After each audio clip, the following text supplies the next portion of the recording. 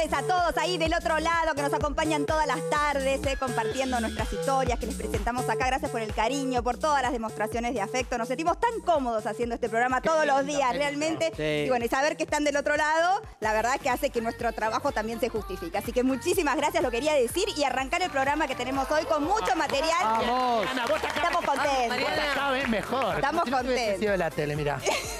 No, pero de verdad, todo fluye, es lindo cuando fluye. Bueno, vamos a arrancar con un tema duro, la verdad, lo hemos cubierto en su momento y ya pasaron cuatro años desde el accidente de Sergio Denis, tres años desde su muerte, pero cuatro años desde eh, que sucedió aquel accidente en el teatro en Tucumán. Y la- lo cierto es que todavía no hay responsables. La familia denuncia que la causa está totalmente frenada, ¿no? Y que no se investigó como se debía. Martín, contame un poco en qué está esto. Y es una realidad, Mariana, porque efectivamente la causa está frenada. ¿Por qué la causa está frenada y por qué la familia de Sergio Denis y su abogado están pidiendo justicia? Porque ellos entienden que la muerte de Sergio Denis se pudo haber evitado. Que lo que sucedió arriba del escenario, que ahora vamos a repasar todos los detalles, fue un homicidio. Que Sergio cayó efectivamente del escenario, ahora vamos a contar cómo, pero que no fue obra del azar, que no fue un accidente, que fue literalmente un homicidio. Y están pidiendo desde hace cuatro años, desde el momento mismo del, de la caída, del hecho, del siniestro, que la justicia cite a declarar a un hombre, que es el dueño o en realidad el titular del Teatro Municipal Mercedes Sosa de Tucumán, un hombre llamado Raúl Armisen. Raúl Armisen es quien debía velar porque en ese teatro se haga todo bien. Es este hombre que está acá, Raúl Armisen, que era el titular, el responsable El del administrador del teatro, Mercedes ¿no? Sosa de Tucumán, exactamente, un teatro que era eh, del Estado, pero él era el administrador. Vos decías muy bien que Sergio Denis murió el 15 de mayo del año 2020. Sin embargo, su muerte comienza en el trágico 11 de marzo del año 2019, más de un año antes. Así lo dice su hija. Vamos a hablar con Bárbara dentro de un ratito aquí en el programa. Ella dice, mi papá murió ese día, el día que cayó. Claro, exactamente. Sergio Denis hacía su presentación en Tucumán. De hecho, ese día en el Teatro Mercedes Sosa va hasta el gobernador de Tucumán, José Mansur. Han pasado ya casi cuatro años de ese día. Y es interesante para mostrar y para entender cómo se da la caída de Sergio Denis, ver el plano del teatro, Sí. el plano sobre todo del escenario, porque Sergio Denis cae de una pasarela que se había hecho de manera improvisada y que era ilegal. Es decir, por donde caminaba Sergio Denis era una pasarela que no debía Aparte, estar ahí. tendría que haber tenido algún tipo de protección, de baranda, algo. Es Una obvio red, que te podés caer. Mirá. Exacto. Y la red en, en el foso donde van todos los músicos, que es donde termina cayendo, ¿no? Cerca, que es donde suele estar la orquesta, que en este caso estaba tocando sobre el escenario. Por supuesto, porque ya no se usaba ¿Qué más. altura tenía? Tres metros. Claro. Tres metros. Ahora, fíjate este plano, que es el plano oficial del teatro, y nos va a ayudar a entender cómo es que cae Sergio Denis. Fíjate, me voy a acercar la pantalla para mostrarlo bien. Esto que está acá es el escenario. Sí. Entre el escenario y la platea estaba el foso. El foso es, como bien vos decías, Mariana, donde otrora se ponía la orquesta para tocar.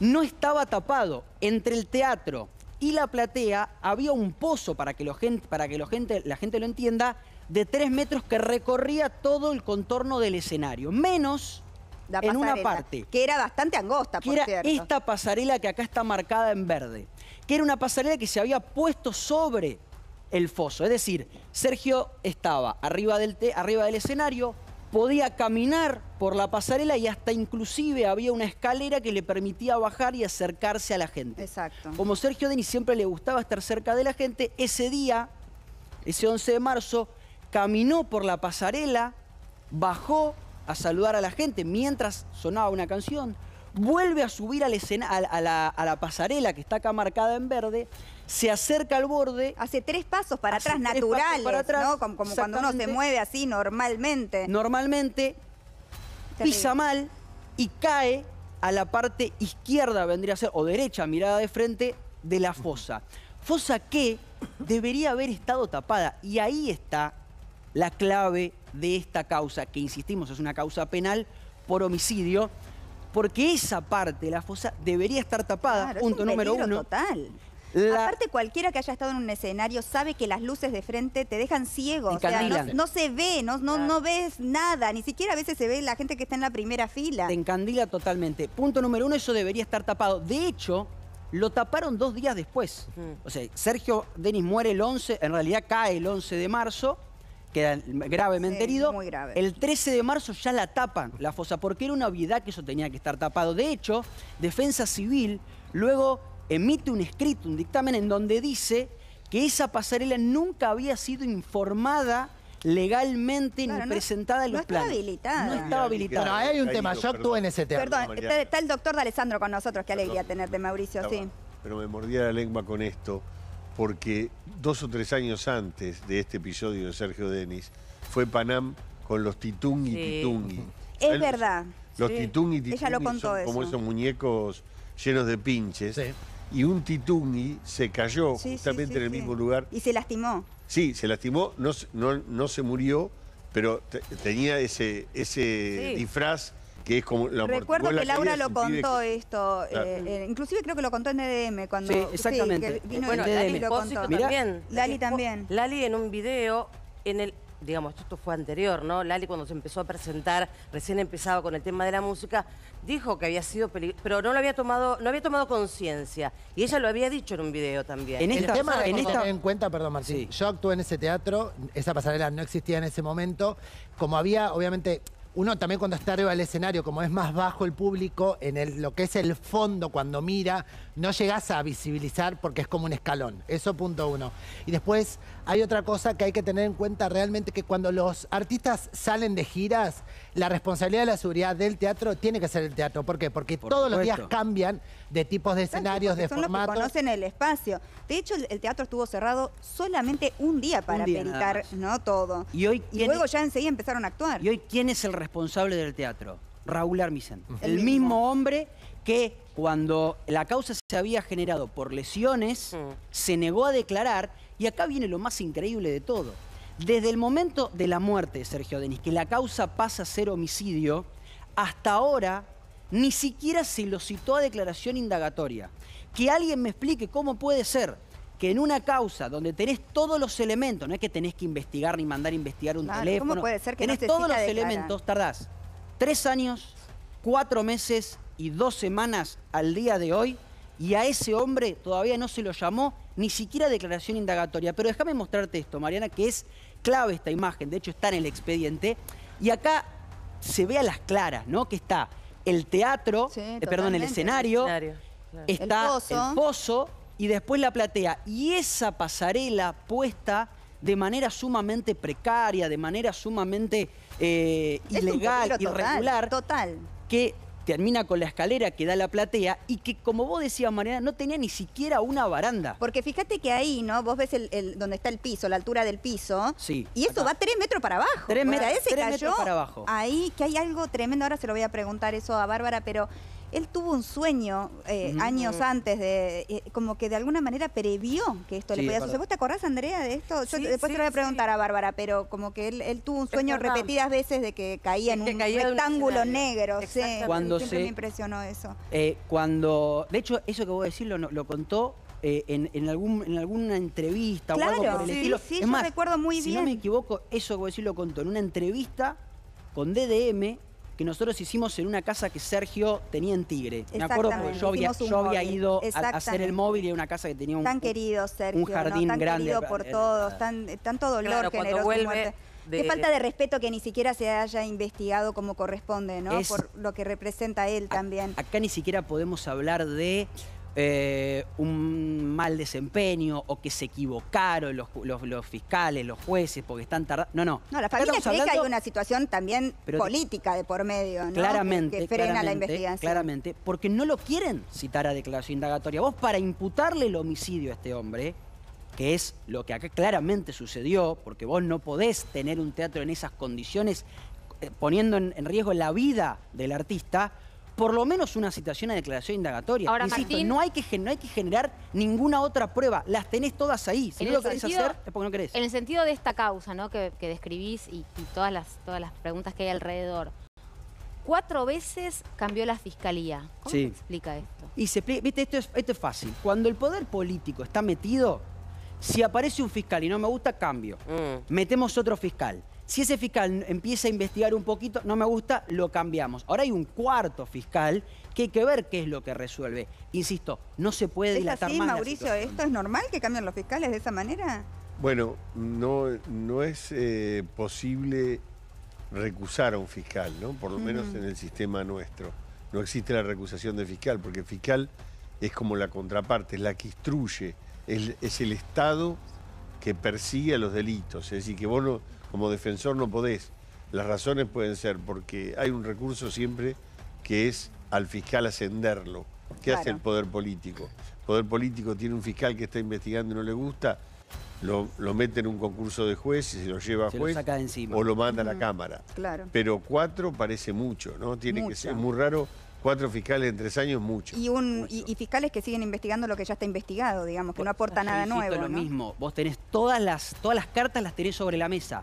Lo único que tenés que hacer es avanzar si decís avanzar, o si no decidís avanzar, no avanzar, pero dejarlo en stand-by como está Claro, ahora, ahora, mm, cuatro años con una familia que quiere saber qué es lo que sucedió, o que en realidad ya sabe Sí, que lo haya que un sucedió, pero que responsable, quiere justicia, sí, que haya pero, un pero responsable. ustedes lo dijeron muy bien al empezar, los dos. Acá claramente hay un homicidio, lo que se llama el homicidio con dolo eventual. Mm. Se pudieron representar que alguien se iba a caer y se iba a matar. Cualquiera no que caminara nada. esa pasarela podía ver el riesgo Además- que Sí, significaba. y de el hecho, el mismo es- Sergio lo debe haber Claro, intuido Y la no es primera el que la teatro de. Mar del- de, de la Argentina. eh, Yo que re- te- realmente digo, no es para... Pero recorrí muchos teatros que realmente las condiciones no son las óptimas para que se suba nadie, ni siquiera bailar, cantar, actuar o tener una banda. Entonces digo, esto me parece que está bueno Y para es marcar propio un de los teatros del Estado también. de que realmente te- estén encima de los protocolos que tienen que haber. Yo actué una vez, Mariana, en el medio de mi monólogo se me cayó atrás una barra. No, no, entera, no. así, ¡pam!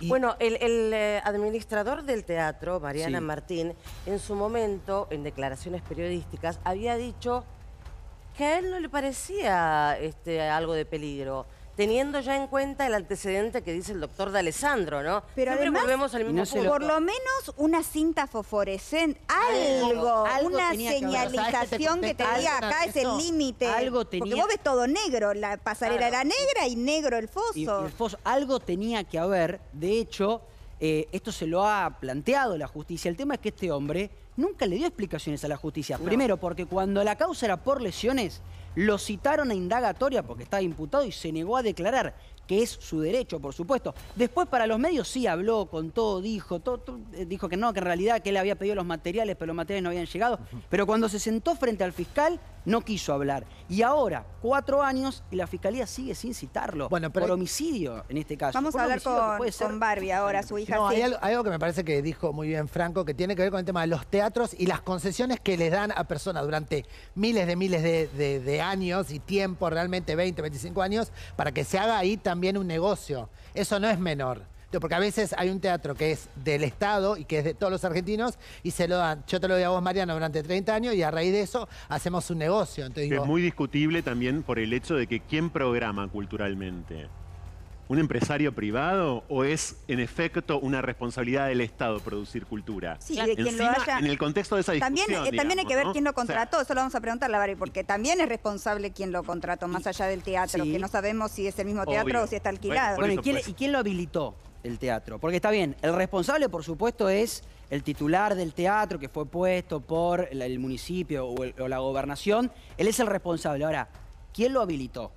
Porque alguien tiene que pasar, algún Y organismo y de es sentido común, es sentido Pero común, por porque supuesto. una pasarela negra donde hay un foso negro al lado y estás cantando con todas las luces de frente, moviéndote, concentrado en lo que estás haciendo, Claro. es obvio que te podés caer. O sea, es, negligencia total. Ahora, Y hay un hijo insisto- de Armisen, perdón, Sí. ¿no? Hay un datito. Hay un hijo de Armisen que es el responsable de la parte técnica. Y lo que hicieron en su momento, palabras más, palabras menos, es pasarse responsabilidades entre padre e hijo, ¿no? Nunca visto, ¿no? Cuando se van pasando, digamos, Sí. el tema de la pelota y la responsabilidad, ¿no? De que eso estaba de esa manera, repito, teniendo el antecedente ya de una sola. Tenía que haber una baranda No o había. una señal fosfor mínimamente, digamos, como mínimo, ¿no? La Algo red que, que precautoria, marcara por- el límite y la red en el. Por Pero eso-. Exacto. De hecho, eh, Defensa Civil en el escrito que yo mencionaba antes, dice y prohíbe, creo que fue a las pocas horas del hecho, prohíbe que se, sigan, se siga utilizando de esa manera el teatro como estaba, porque lo marca efectivamente como peligroso. Y en ese mismo escrito dice, no se avisó que estaba esa pasarela. Después esa de- pasarela era ilegal. Después de que pasó esto, a las 24 horas había gente tocando, ese teatro siguió funcionando como si nada hubiera sucedido, ¿no? y lo cierto total. que, que Sergio nunca más volvió a la vida, este, empezó un año muy difícil para él y su familia. Estamos con Barbie, vamos a, a saludarla. Hola Barbie, Te- no nos ¿cómo pudimos ver fuera del aire, así que te quiero dar un abrazo. Gracias por la ay, invitación. casi me caigo. Muy feliz de, de tenerte acá. Este, bueno, sabes el cariño Sí, que siempre sé, le, tengo a tu familia y a, y a tu papá. Bueno, y a vos también tenemos amiga en común, así que tengo mucho cariño transitivamente. Eh, la verdad, Barbie, que cuando uno repasa un poco lo que pasó, eh, es obvio, ¿no? Que hubo una negligencia y que hay responsables de esto. ¿Cómo lo viven ustedes? Sí, escuchaba que, bueno, pasaron un montón de información súper importante que capaz que no, no le han dado tanto. Eh, los chicos tienen mucha información de, de muchas cosas que fueron pasando a lo largo de todo este tiempo, ¿no? En el que venimos pidiendo justicia. Eh, yo quería aportar un dato más de a- a lo que contaban, que es que cuando se hizo la reconstrucción de, de lo que pasó ese día, la persona que, lo, que, que la hizo también eh, tuvo que taparse los ojos de lo que encandilaban las luces, ¿no? Claro. Entonces, el peligro también era ese, era como aparte de que estuviera el foso ahí, los artistas lo saben, que, que las luces se Desde el escenario no encandilan. se ve nada. Tal cual. Entonces era, era como doblemente peligroso, aparte de que el foso no tenía que estar destapado, ni tenía que estar ahí, ni, ni tenía tampoco ningún sentido porque no se usaba. Eh, esto, esto de que la luz de frente encandila, ¿no? Además que papá tampoco era una persona que, que- que, bueno, que tenía su edad también, entonces Pero aparte, si hay una pasarela es para caminarla. Tal cual. ¿No es cierto? Entonces, la idea era que él pasara Sí. por ahí y bajara. O sea, que era obvio que iba a transitar por ese lugar, ¿no? Sí, sí. ¿Cómo no iba a estar señalado? ¿Cómo...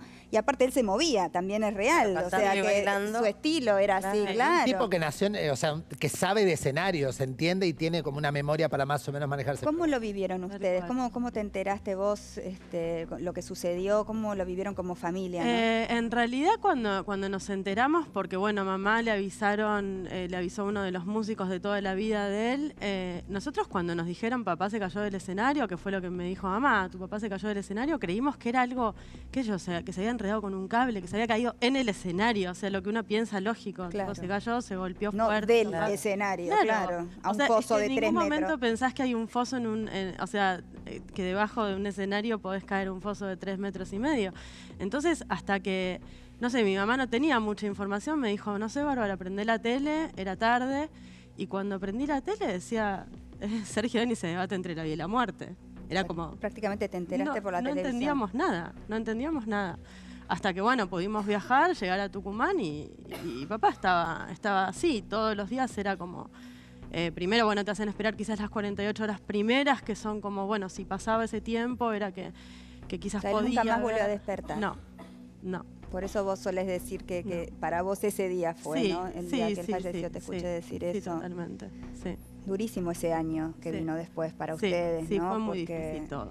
Como él estaba en un estado vegetativo, digamos, como en coma, ¿cómo era? Sí, en realidad situación? se llama estado de mínima conciencia, a diferencia del estado vegetativo, lo único que hacía era abrir los ojos, pero no tenía, o sea, no era que la mirada la apuntaba o, o- o tenía un entendimiento con la mirada eh, cuando, cuando uno le hablaba, solamente miraba a un punto fijo, eh, como incierto. O sea, no había una reacción de su parte claro. eh, que, que a ustedes les indicara que él estaba escuchando o No, nada. nada. Nada, entonces eh, eh, es lo mismo en realidad que el estado vegetativo, con la diferencia de la apertura ocular que... que- que Y eso producto del golpe, claramente. Sí, sí. ¿Y qué, qué, eh, no sé, alguien lo llamó? ¿Qué, ¿Cómo se comportó la gente del teatro? No, en ningún momento. Es una de las cosas que nosotros venimos pidiendo, la, la- la declaración de esta persona, Raúl Armisen, bien decía él recién, eh, que en su momento se lo llamó a declarar, pero cuando papá todavía estaba con vida, eh, cuando la causa cambió a homicidio, o sea, un- una vez que papá falleció, eh, lo primero que pedimos fue que se citara a declarar a Raúl Armisen, que, que era y es al día de hoy el director del teatro, Mercedes Sosa, Claro. y, y pasa el tiempo y no, no conseguimos que se lo cite a declarar, ¿no? Que es lo primero que cualquier, o sea, en cualquier caso, digamos, de... Normal, es lo, hace lo- obvio. ¿Qué claro, pasó? ¿Por qué eso estaba así? ¿no? ¿Por qué este, no, no estaba señalado? No sé cómo se suele hacer, pero entiendo que tiene que haber habido una baranda, un- algo fosfores, algo que indicara, ¿no? Sí. ¿Qué, qué decía la gente que estaba con tu papá, los músicos? O sea, ¿había habido como una señal de advertencia con respecto a esta pasarela? No, no había nada y en su momento mi hermano cuando estuvimos en Tucumán, reci- cuando recién llegamos, creo que al- yo no recuerdo bien porque fue- era tanto lío todo, de, pero no sé si fue el otro día o a los dos días hicieron las pericias en el Teatro Mercedes Sosa, mi hermano quiso ingresar y no se lo permitieron. Eh, o sea, claramente había, no, no estaba ni, esa, ni, ni esas pegatinas que se ponen como para que uno Aparte vea se ven las termina. imágenes.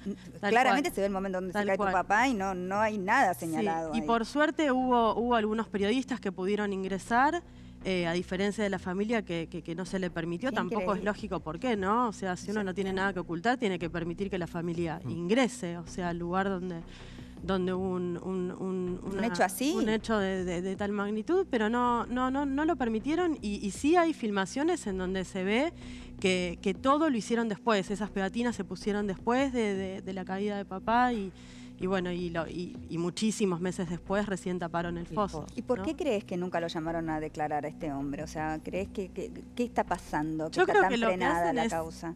Es, es constantemente eh, atrasar todo, demorar todo. O sea, nosotros hemos, nos hemos cansado de ir a Tucumán. eh, eh, Diego Colombo, que es el abogado, ha ido solo, ha ido con nosotros. Hemos hecho eh, cantidad de insistencias. eh, hemos ido sin avisar, a, a tocarle la puerta al fiscal, a que nos atienda, a que nos dé una explicación. Y creo que lo que hacen es, es- es atrasar todo, porque aparte las causas, o sea, la causa prescribe a los cinco años Claro, o y queda que- poco tiempo. Exacto. Entonces, creo que juegan un poco con eso, ¿no? Por eso eso, también los cambios de fiscales. Importante y- eso que estás diciendo, claro. Vos decís que están especulando con que prescriba la causa. Y no se puede sino entender por qué, por qué a- se van a cumplir cinco años el 11 de marzo. No se puede entender por qué tanta demora, ¿no? Yo, yo, yo veo un montón de causas de cosas que son más recientes y que, que tienen respuesta más rápido que esto. Y esto está, está así hace, hace muchísimo tiempo. ¿Cómo lo viviste vos de, de manera personal todo esto, este proceso sin tu papá? Digo, tu papá tenía una presencia muy fuerte en tu familia, en toda la gente que lo conocía, tan querido.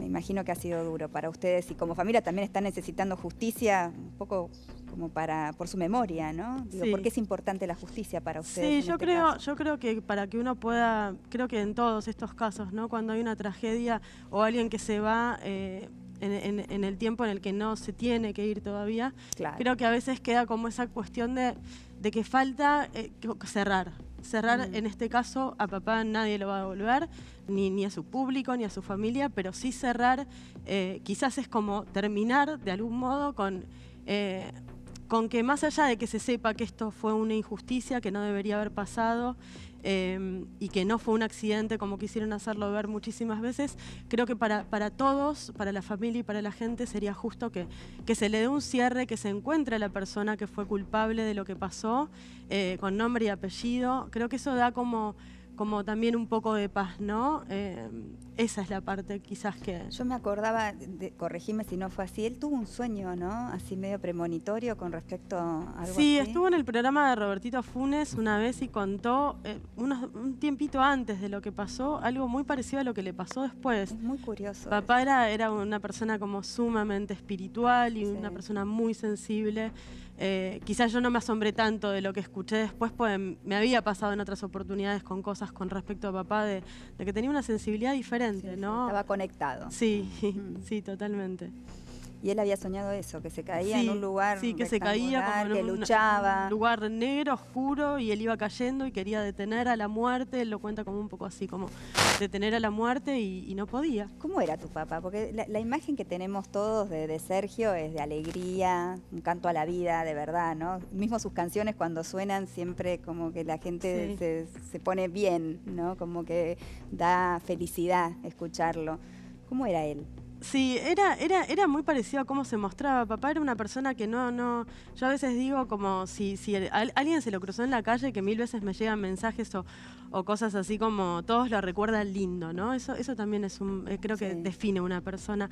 Y papá tenía eso como de. mm, de que se mostraba como era. Era una persona que a pesar de que le pasaron un millón de cosas, pues tuvo traspiés de todo tipo a lo largo de su vida y de su carrera también, eh, era una persona que, que- que siempre era muy optimista. Era un tipo que, que- que se le dibujaba la sonrisa y él se vestía, salía adelante, iba a la calle y saludaba a todo el mundo.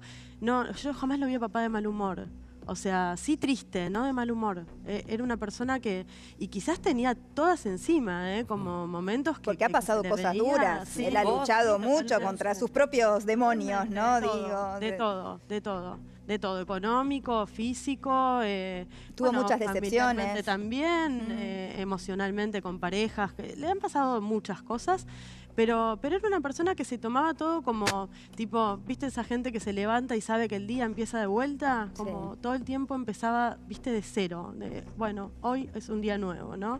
Y tenía como esa, esa cuestión de, de salía, iba a correr a Palermo, eh, se ponía el sol y, y respiraba. Y era una persona alegre, era una persona que, que, que quería vivir. Y, y da la sensación de que tenía eh, mucha indulgencia, era como, como que perdonaba, ¿no? que nunca se enojaba, tenía esa cosa eh, positiva, permanente. Vos, eh, que sos, yo sé, lo sé esto, que sos una persona muy espiritual y, y- y cultivás tu, tu espíritu, ¿no? Eh, ¿Lo sentís cerca? Todo el tiempo. Todo el tiempo, sí. Sí, todo el tiempo. Pasa que nos cuesta mucho poder entender, ¿no? La manera, pero creo que las personas que, que uno tuvo en la vida con, qué sé yo, tan, tan, tan cercanas y yo todo el tiempo siento que papá está.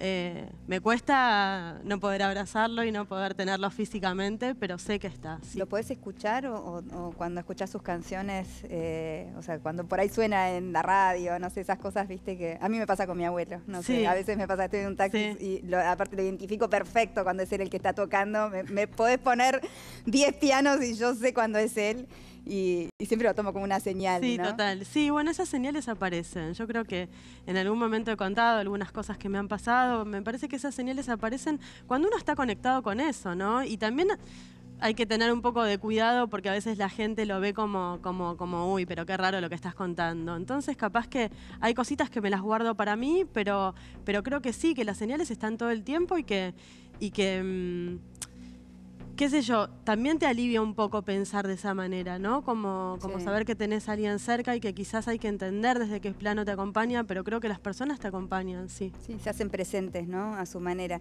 Tenemos el pedacito de en donde Sergio contá. ¿Te, te- te hace mal verlo a tu papá? No, si no, no lo no, al ponemos. revés. ¿Te, No, te gusta? no. Porque ese es justo el momento donde contaba este sueño. Mira. sí. Y tuve hasta miedo que la gente me creyera loco, sinceramente. Porque vos que le, le temés a la muerte o que querés saber algo de la muerte, yo te voy a contar. Yo lo que vi era que de pronto yo estaba en un rectángulo negro, negro que daba terror, con una ventana ahí negra. Te viste a con- vos ahí. Eh, claro, me vi ahí a mí, eh, la mitad de mí adentro, insultando a la muerte y el, y el diablo. Pero la, pero la repu, Sí. Sí, pero la re. Pero no me daba por vencido. Y aparte el otro día hablé con un sacerdote amigo. Yo tengo dos, dos personas, dos personas que espiritualmente me, me acompañaron mucho en este tiempo, que son Gladys y el padre Carlos Manuel, que ahora está, Mira. lo están por operar y le, un padre Manolo. le deseo to- toda, toda la vida porque lo amo. Y le pregunté, me dijo, en teología todos esos, eh, esos lugares donde vos estuviste tienen nombre. En los lugares esos horribles, como decirlo, la ventana, ahí están los espíritus negros, ahí están los espíritus malignos. Mm. El están- limbo es ese. están- no sé, debe ser un lugar horrible. Y en un momento, en un momento de tanto, de tanto pelear, que yo no quería estar ahí, tuc, salí de ahí. Y volví. volví Volviste a mí, vos. Volví a mí. A la vida. Pero con una, eh, antes había tenido la imagen de caerme en el tablón, que eso, y no es invento, porque el otro día... Quedarte en el tablón. En un tablón, en un tablón como una balsa, que yo qué, y yo caía en la muerte, en, en un, abajo. espacio negro, iba para abajo, iba, y quería parar, quería parar y me agarraba. Bueno, y el otro día vi una serie norteamericana donde una chica, una, una- una actriz, contaba, eh, de- eh, le habían escrito el guion, ella había muerto cuatro minutos, había estado muerta cuatro minutos. Y contó lo mismo que yo vi, el rectángulo negro, la ventana espantosa, La balsa. los bichos espantosos que aparecían. Yo estuve, hablé con mi psicólogo, mi psiquiatra, y estuve un año con, con tres almohadas en la, En la espalda. espaldar. Para dormir, viste como que te dicen que tenés que dormir no, no, casi incorporado. Claro, yo no, no quería dormirme por, por si venía el diablo, yo lo iba a pelear. Pero ¿sabes qué? Te juro por Dios, en serio. que te creo, Perdóname. porque- Entonces, sí, cuando aparecía el sol, ahí sí me ponía a dormir. tranquilizaba. Porque ahí estaba más tranquilo. Pero de noche... Qué fuerte. Sí. Es impresionante. Sí, él quedó muy sensible también desde, desde el, el- el episodio que tuvo también en Paraguay, ¿no? Sí. Que él estuvo mucho tiempo sin signos vitales, bueno, también... Casi 17 hicieron- minutos. Sí, Es 17 verdad, minutos es estuvo. verdad. 17 minutos sin signos vitales, hicieron un esfuerzo enorme, cuando ya habían, él lo, lo cuenta también en alguna entrevista, cuando todos los médicos habían ya sacado los guantes, porque Que él estaban, escuchó. estaban- sí, sí, uno de los médicos dijo, esperen, voy a probar una última vez, y, y papá volvió. Entonces también e- era un poco esa, ¿no? Y Como la esperanza que teníamos todos. Claro, de que volviera a Una suceder. vez más, capaz que. Pero bueno. Es que eso es lo, lo tremendo, ¿no? De la espera cuando está tan grave y, y- y- y ese año, por eso sé que, que ha sido tan duro. Aparte después vino la pandemia, o sea, fue- fue durísimo Sí. para ustedes como, como familia. Sí, fue muy duro todo, pues también, ¿no? En el momento en que, en que papá falleció, hacía dos meses que había empezado, creo, la, la- la Mm. cuarentena. Era muy reciente todo. Eh, bueno, yo lo conté en alguna oportunidad, yo tampoco pude viajar a, a- a despedirlo. Ya Vos vivís en el sur. Sí, sí, y, y no había manera en ese momento de, viste que alguien se moría enseguida, había que hacer todo rápido, eran como los protocolos eran como muy, muy estrictos que después, bueno, em, y, y- y ta- y tampoco la gente, ¿no? Yo siempre pienso que hasta, hasta en eso fue ingrato, ¿no? Su forma de irse, capaz que, que, que la gente no pudiera despedirse, darle, yo, devolverle todo lo que él había, había brindado, y para la gente también fue muy doloroso. Es verdad ¿no? lo Fue que un decís, momento tremendo. culturalmente Sí. representa muchísimo él, ¿no? Sí. Entonces hubiera tenido una despedida muy popular, muy, muy llena de esa alegría que le había entregado. Sí. Es verdad lo que decís. Suena injusto para un artista, ¿no? Que se, que se vaya silenciosamente. Sí, ¿no? para él y para la gente también, porque Sí. mucha gente quería despedirlo. Yo me acuerdo que esa noche todo el mundo salió a los balcones por el momento Sí. que ponían música en todo el país. Sí. A mí me llegaban Ay, me de todos lados. acuerdo. Era impresionante y todos cantando Te quiero tanto y despidiéndolo Ah. desde los balcones. Mm. Aparte, amado, amado, amado Sí, por colegas también, sus los músicos, todos los cantantes, ¿no? Sí. Sí, sí, era una persona muy querida. Yo a veces pienso que, a pesar de que mucha gente quizás no le gustaba tanto su músico, no tenía que ver con que le gustara o no. No, era con lo que él y-. Sí, hacías una cuadra con papá y lo saludaban desde Claro. chicos de colegio hasta, hasta gente grande, qué sé yo, gente que quizás no escuchaba su música, pero, pero era un tipo que, que- que era como buen tipo, ¿no? Como que te daba de, de ganas sí. de, de, de- un grito. sí, ¿Qué es lo que pasa cual. con sus canciones? Vos Sí. estás en un casamiento y suena Sergio No. Denis y es como, eh, la gente le dan Eso ganas. es lo que te quería preguntar. ¿Cómo- ¿Qué te pasa a vos cuando de repente te encontrás con algún tema de tu papá? ¿Qué es lo que te pasa a vos en ese momento con...? Porque a mí, por ejemplo, si voy a un casamiento, yo me vuelvo loco, pero para mí va a trascender y nunca no va a haber canciones de, de los verdad. Sí, tal es cual. verdad. Mm. Sí, la otra vez alguien dijo, ¿no? Eh, creo que fue Barassi en, una- en un programa que pusieron un te- Te quiero tanto, que es la canción de, de- de casamiento, y dijo, esto lo van a, lo van a escuchar mis hijos y lo van a escuchar mis nietos, ¿no? Como que trascendió también a, a muchas generaciones.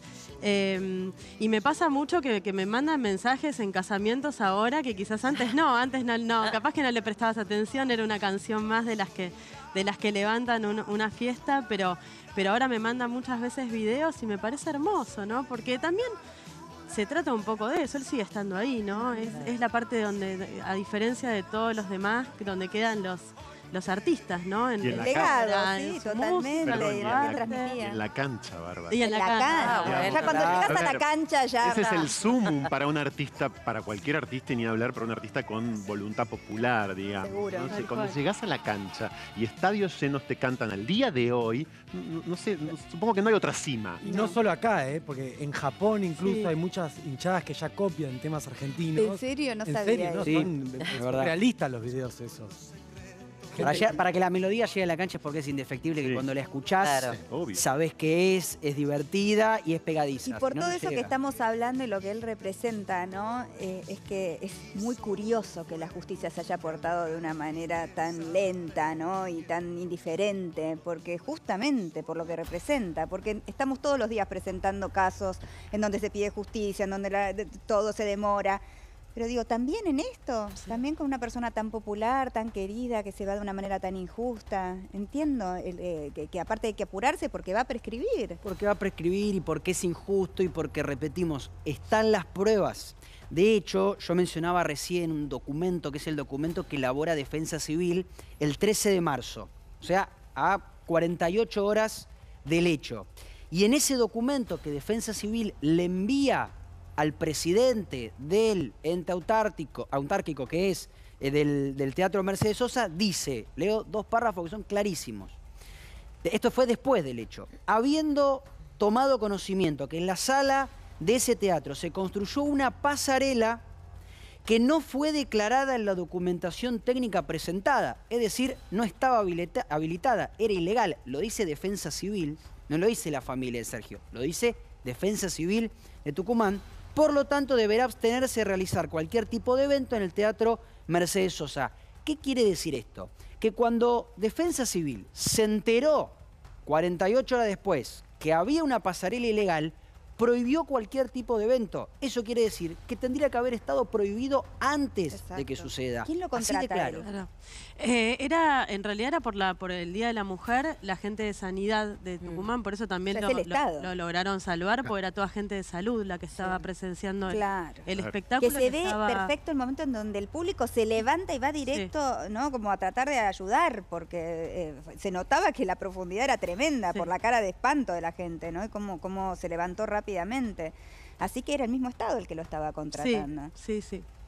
Es Sí, y bueno, y creemos también que la demora es esa, ¿no? Más allá de, de- de lo lento que es siempre todo en la justicia, lamentablemente, tiene que ver con una cuestión política, ¿no? Acá hay, acá hay como una, una cuestión política que es la que está frenando el avance de la causa, ¿no? Pues esa noche estaba también el gobernador presentándose, presentando el, el- el show de papá, o sea... Estaba el gobernador Claro, presente. claro. Le dio Eso la te quería- mano, eso te quería preguntar. Sí. Mansur, Indistintamente sí. del, del- del show, ¿qué otras cosas él, eh, solo lo contrataron para el show? Porque generalmente algunos artistas ha- hacen otro tipo de, de movidas, de repente hacen un show y van a un par de lugares para, porque están contratados como un paquete, donde obviamente hacen fotos con el gobernador y todo. Eso, No, no, no, no, no. Él Solamente- había llegado ese mismo día para hacer el show y se volvió a Buenos Aires porque tenía, justo era también un mes de muchísimo trabajo, marzo.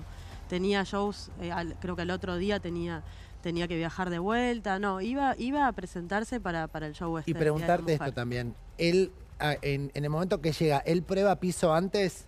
No, pero había un montón de veces que él no probaba. Perfecto, no, pero esto es importante Sí. porque si él eventualmente no prueba el piso, Claro, no reconoce el no espacio. reconoce el lugar, la responsabilidad es de quien tiene el, el- el escenario Sí. mal puesto, Sí. sin cintas de iluminación, sin la Exacto. red, obviamente, que eso no eh, es muy. Generalmente los artistas siempre pasa, entonces creo que, o sea, más que nunca, la responsabilidad sigue siendo. No hay dudas, no hay dudas de quién es la responsabilidad. Claro, no hay- no aparte, hay si ninguna pasó duda. antes, es lo que hablamos siempre, ¿no? Si ya pasó, si ya hubo un accidente, si ya hubo, digamos, demostraron que estaba de forma irregular el teatro, ¿por qué no se actúa? Bueno, porque había que invertir, digamos todo. Claro. Aunque sea mínimamente, aunque sean 10 mil pesos en ese momento, Sí. o quizás menos, había que invertir y aquí había claramente una voluntad de no invertir y ganar a como dé lugar. El poder político tampoco lo llamó Bárbara. Nadie del poder político, ni siquiera pensaron, ima- por ejemplo, una medida reparatoria del tipo que por supuesto no de ninguna manera es equivalente a la justicia, pero ponerle el nombre de tu papá a la sala, digo, algún tipo de medida De simbólica Sí, que sí. por lo menos se acerque a la justicia, nada de todo esto. No, absolutamente nada.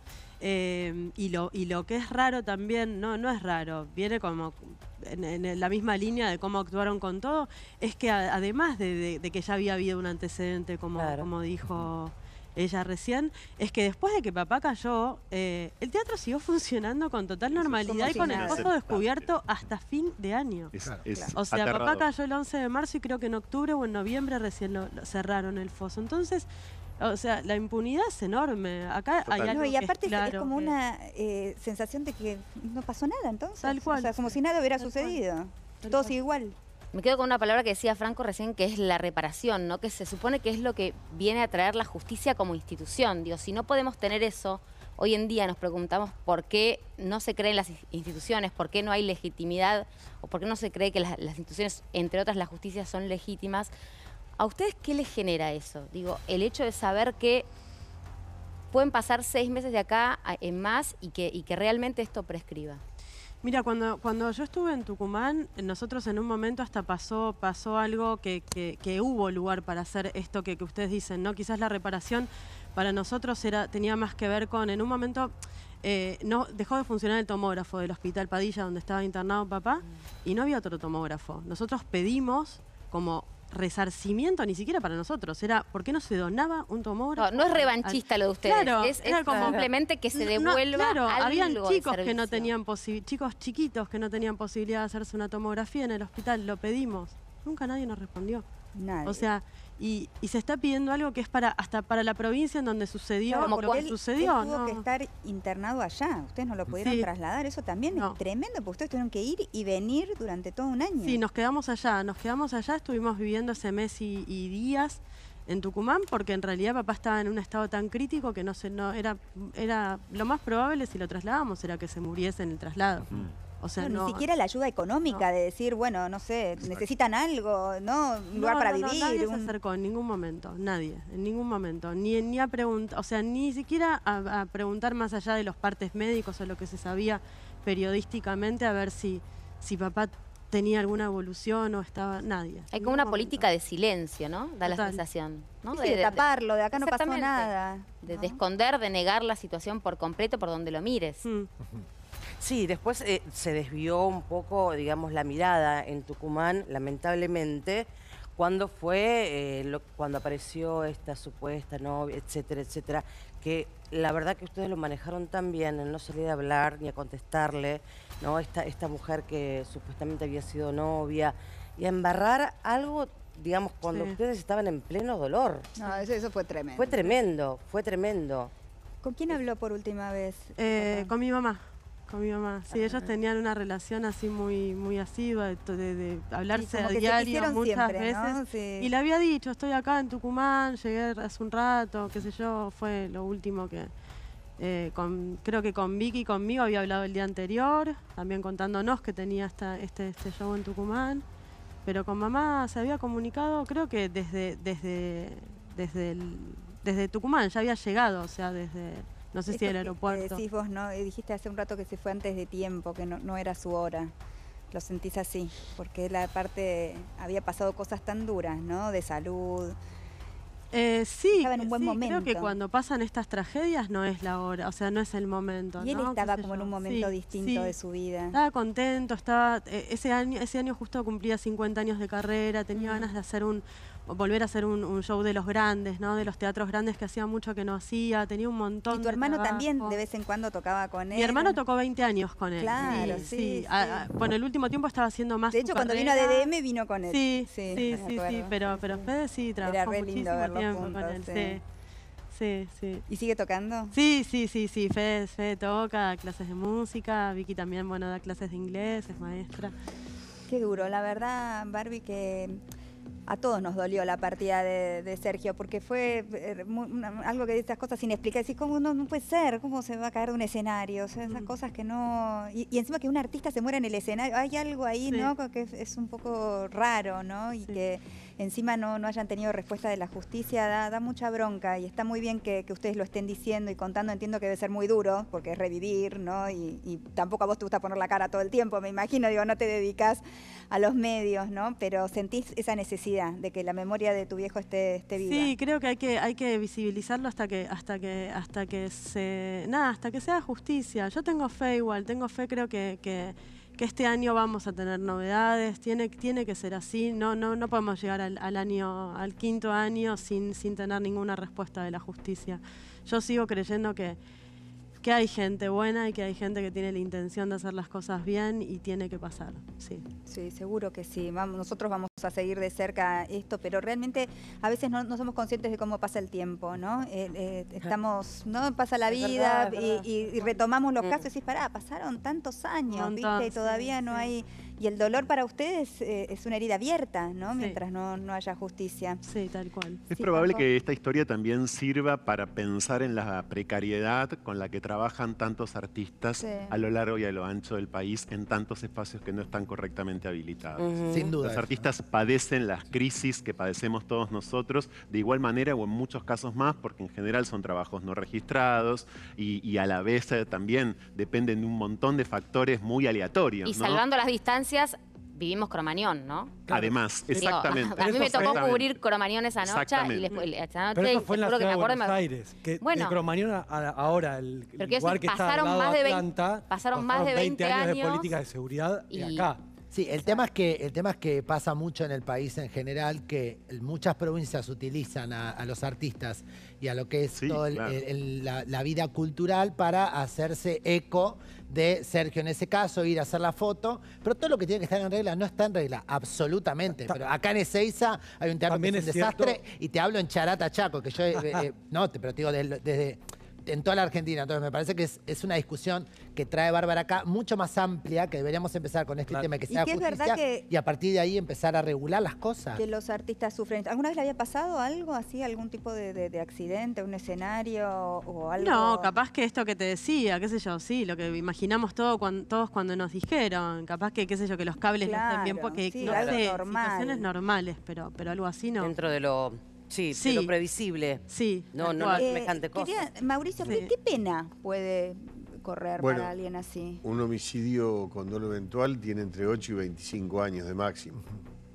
Pero yo escuchaba recién a Pepe, yo lo conocí bastante. Ay, no sabía que eras amigo, Mauricio. Para, sí, yo lo quería. Sí, era tan querido, Sergio. Me duele mucho, lo vi.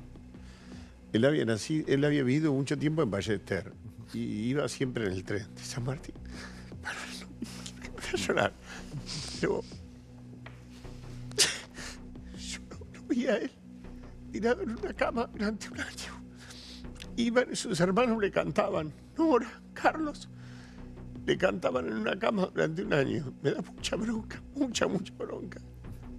Me duele mucho porque no se lo merecía. Y él, te digo algo, Pepe, él iba, él iba a los, a los teatros a hablar, a cantar. Nunca de la mano de un político. Nunca se agachó. Sí, Era un tipo digno. Le ofrecían plata para ir a la foto. Vos preguntaste recién si se iba a tomar una foto. Nunca en su puta vida se iba a rendir para tomarse una foto por alguien. No lo hacía. Era un tipo íntegro. Yo no- ni siquiera sabía demasiado qué pensaba políticamente. Lo he tenido cantando en fiestas 20 veces. Cuando él había perdido la voz. Y, yo administraba un hotel en Mar. Y lo llevé. Lo llevé a cantar.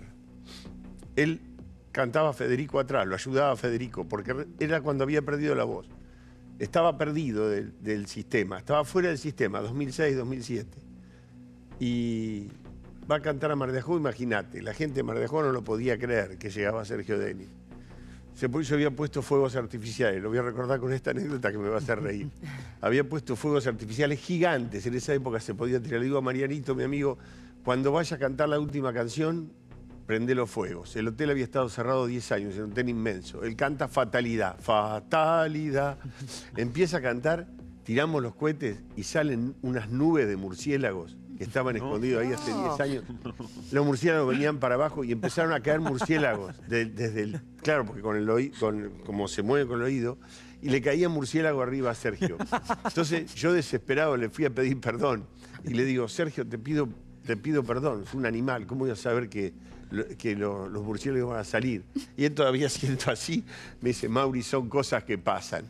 Eh, después de eso, bueno, mantuvimos, yo podría decir, una amistad con él. Me emocioné porque había aguantado todo esto. Y esto que, que te pasó a vos, le pasa a tanta gente con él, es, eh, refleja muy bien lo, que- lo que él sembró en la gente, porque siempre tenía una palabra linda, siempre tan cálido, tan, tan Era un amoroso. luchador, Mariana. Era un tipo que hacía un bar en Mar de Ajó o, cu- o cua- o Cuatro Luna Parks acá y era un tipo que no se obligaba por la gente que iba a verlo, sino porque lo hacía. Y te quiero aclarar, Mauricio, Luz y lo siguiente, Fuerza, porque al de por ahí Luz se Fuerza. Estuvo- porque por ahí se entendió mal. en el- Yo Yo digo que hay No. mucho, hay mucho, hay mucha movida entre los políticos y productores que llevan Siempre artistas. van a el querer ar- sacar ventaja, Y el ni político hablar. se sube al escenario en el último momento para Pepe, tener la no. foto. No digo que sea, no- sea no- eso. Yo no, no te hice una crítica, no, No, quiero decir, digo, me lo recordé como era. Los políticos deberían estar generando situaciones o procesos para que haya redes donde tienen que ir, que las, las varillas de los teatros no tengan 45 años, porque hay teatros que tienen 100 años. ¿Y cuántos años tiene la varilla? 100 años. Claro. No, Deberían no, todos los años hacer. No, esto Claro, es que en real. el te medio está en ese cruce entre entretenimiento y política que nosotros vemos crecer en los últimos años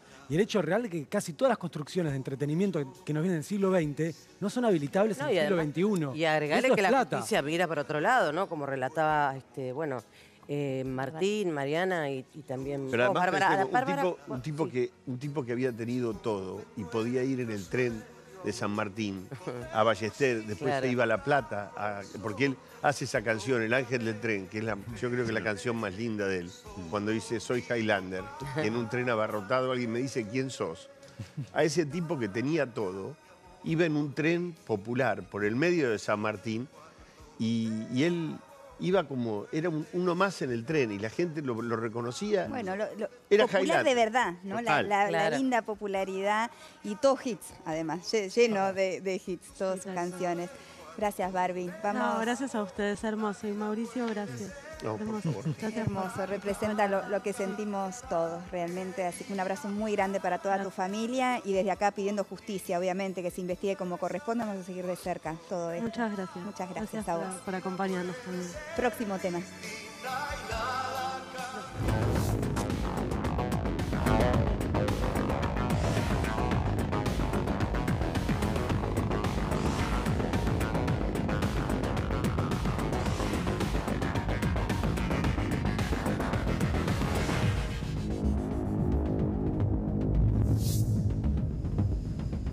Vamos a hablar del asesinato de Octavio Romero. Es un caso tremendo, es un crimen que tiene que ver con el odio, pero que también tiene que ver con la impunidad estatal. Octavio era miembro de la prefectura, lo mataron porque iba a ser el primero de la fuerza en contraer matrimonio con otro hombre. Se acababa de aprobar la ley de matrimonio igualitario. El Estado nunca investigó. Durante 11 años no se supo qué pasó. Franco, contame que vos seguiste tan de cerca ¿no? este, este caso y hiciste tanto para que se haga justicia. Vamos a fondo, ¿cómo fue?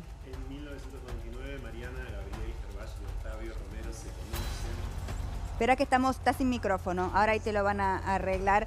Este, Gabri- que estaba mencionando a Gabriel, Gabriel es la pareja de, de Octavio con quien se iba a casar, vamos a hablar con él en un ratito, y quien estuvo durante 11 años luchando, luchando porque se investigue, porque se investigue, porque alguien diga algo. Eh, eh, eh, lo encontraron eh, en las inmediaciones del Río de la Plata, eh, donde justamente tiene jurisdicción eh, prefectura, lo encontraron golpeado, lo encontraron torturado, lo estuvieron buscando durante días, durante días que nadie sabía dónde estaba.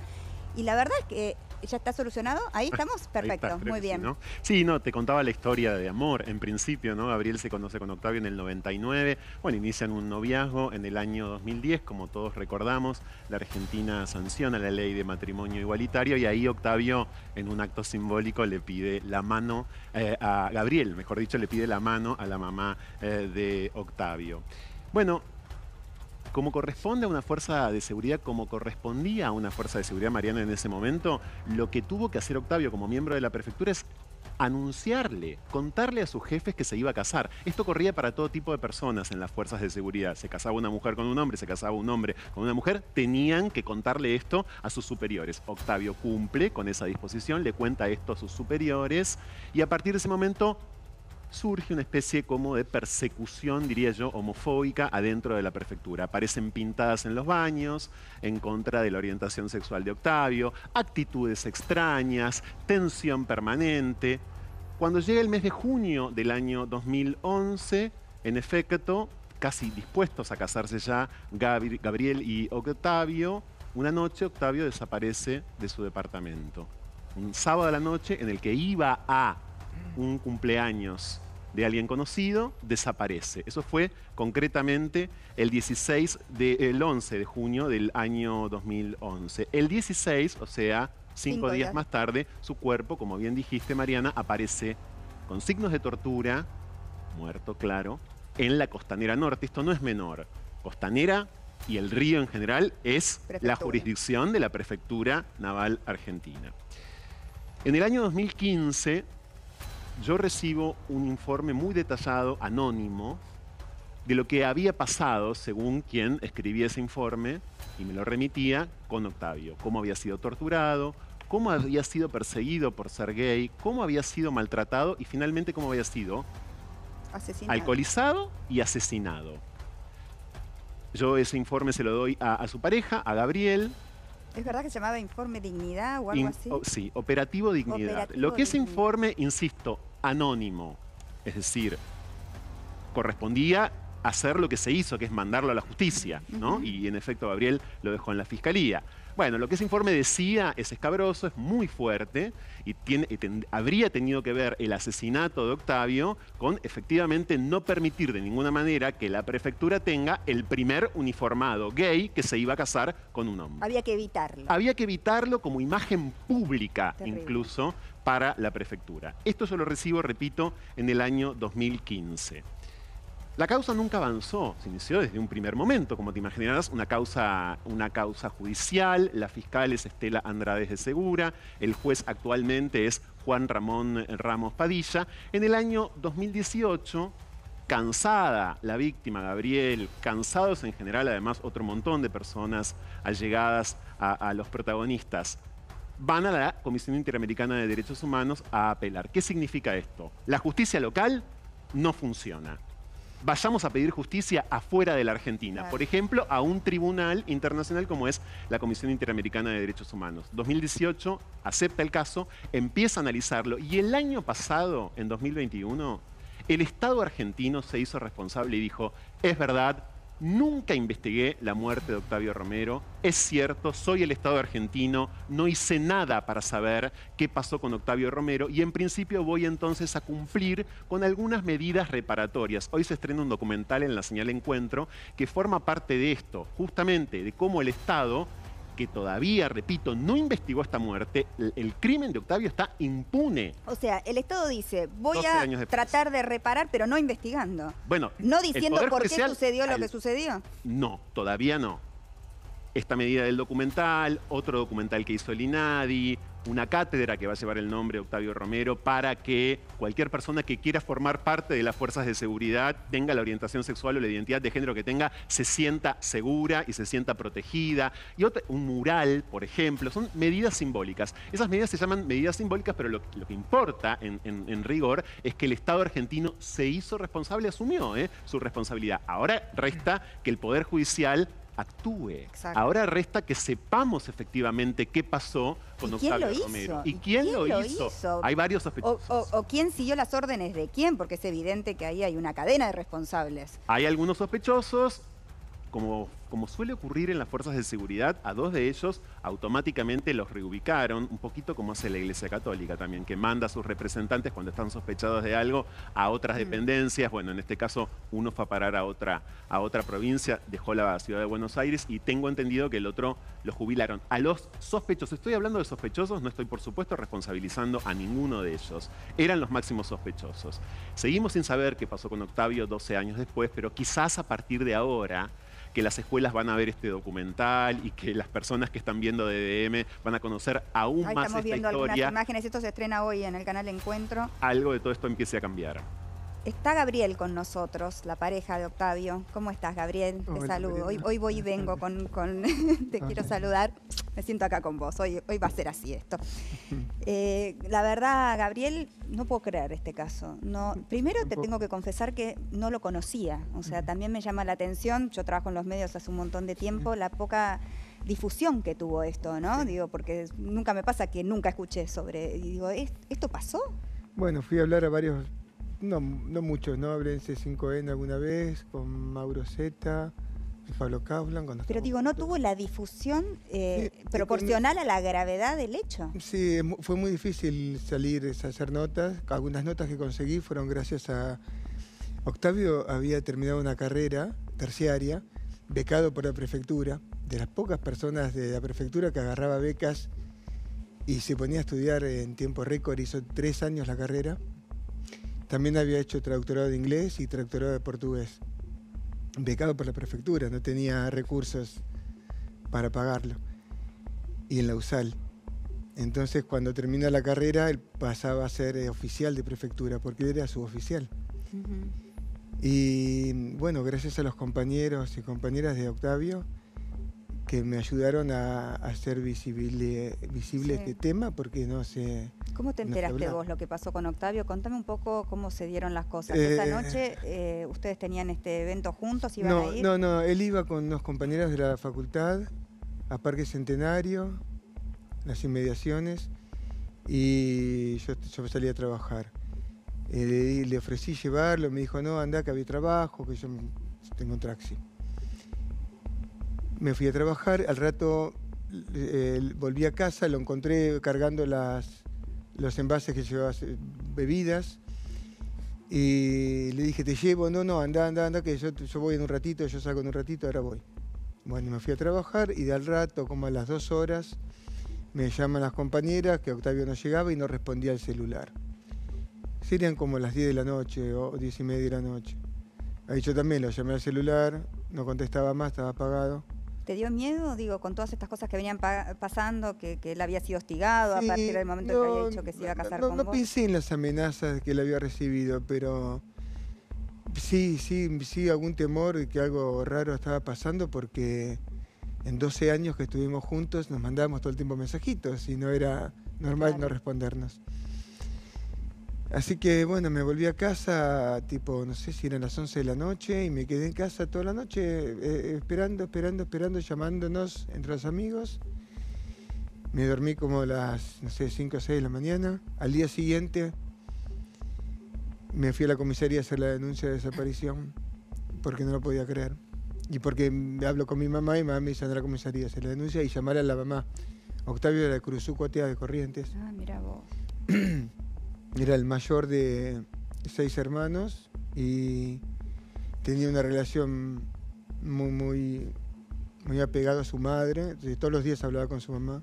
A ella le pediste matrimonio.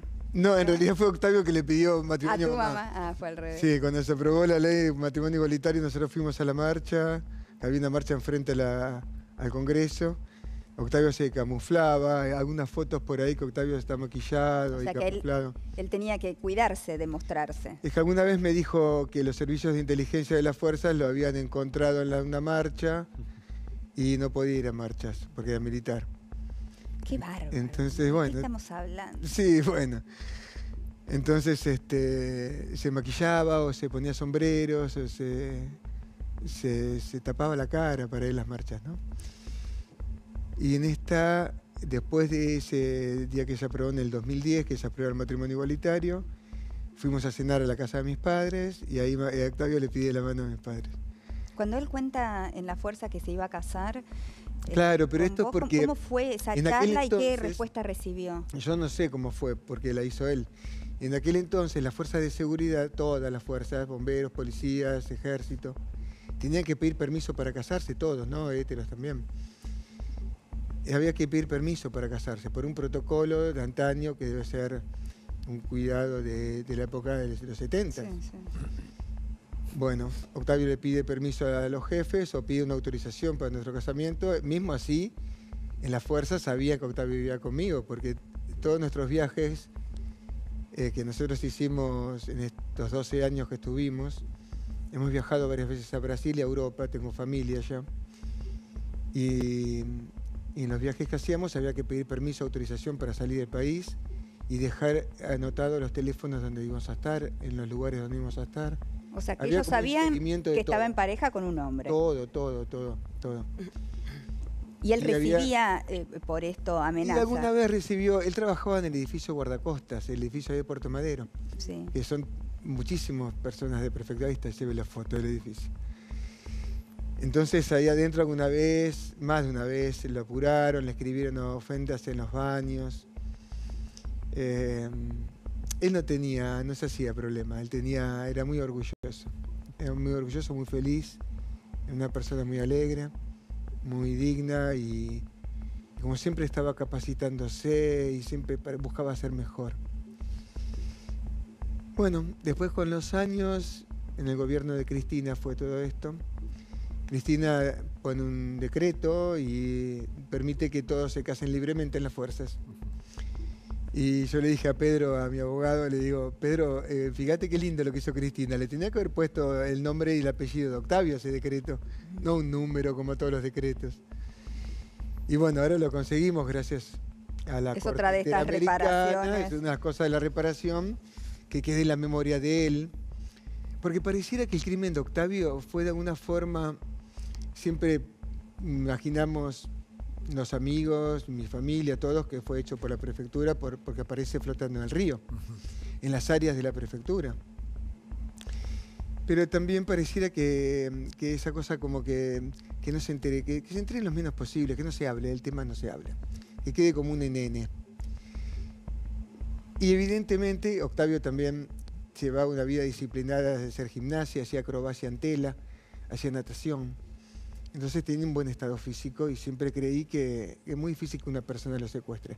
Porque a todo esto la fiscalía siempre iba atrás de un crimen pasional. Ajá. Primero contra mi figura, dos años contra mí, allanando mi casa dos veces. la O casa sea, de te padres. quisieron culpar a vos. A mí, claro, buscándome a mí.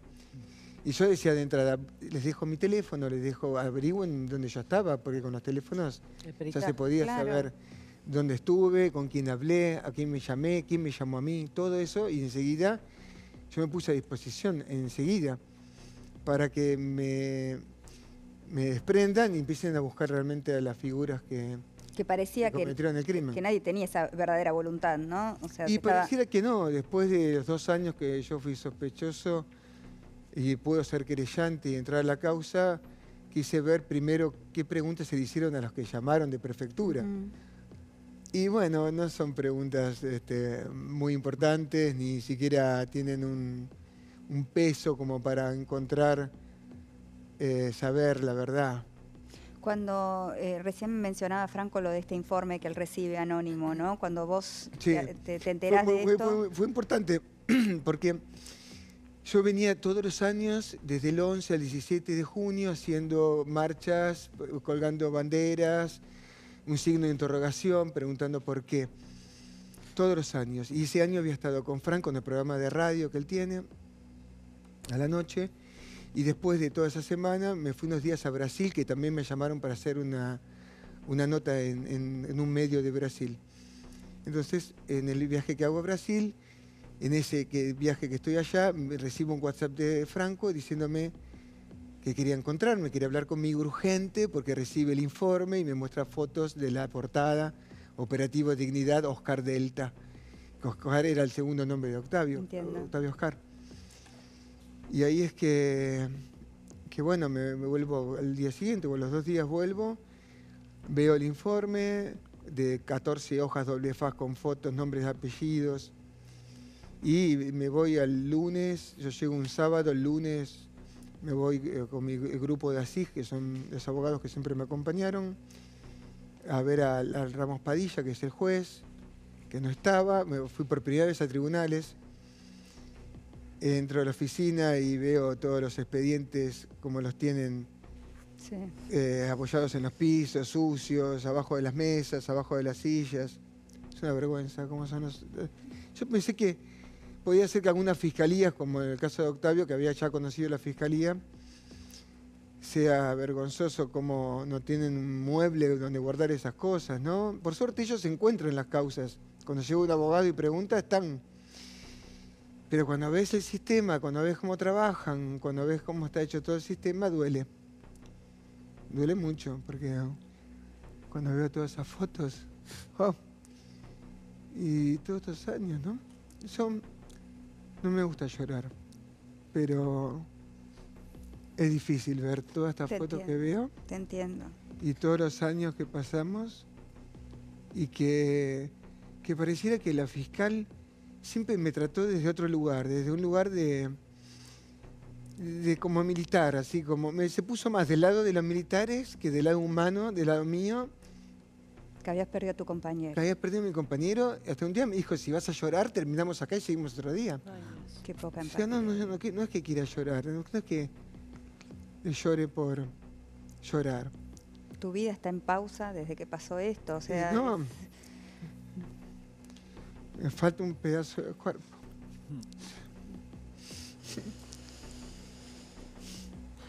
Muchas gracias por venir. A vos, Gabriel, te acompañamos El en documental esto. deja todo el material que, que tenía Octavio, había filmado muchos videos. Es hermoso, es hermoso. Espero lo tenga mucha difusión, le llegue al corazón a los asesinos y como entiendo que es un grupo, alguien hable y diga algo, algo. Para que se haga justicia y pueda cerrar esa herida y pueda descansar en paz, Octavio. Muchas gracias. Nos vamos a una pausa, ya venimos. Gracias.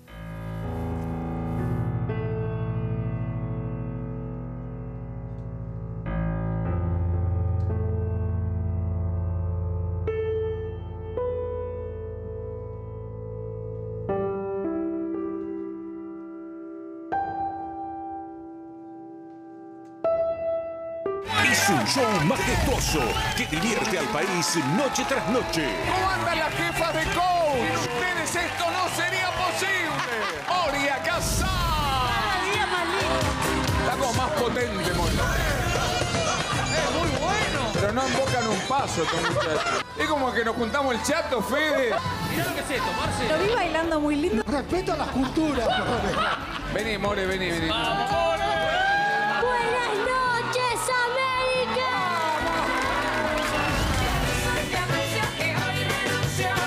Vino re bien la separación o sacarte todo esto de adentro. Sos otra, otra. La gala anterior fuiste un plomo. Todos se mueren por estar acá. El que dice que no quiere estar acá es un mentiroso. Al lado de lo que vimos hoy sos Paloma Herrera. Esta noche el Bailando 2023 te espera en América. Siempre en vivo, siempre con vos.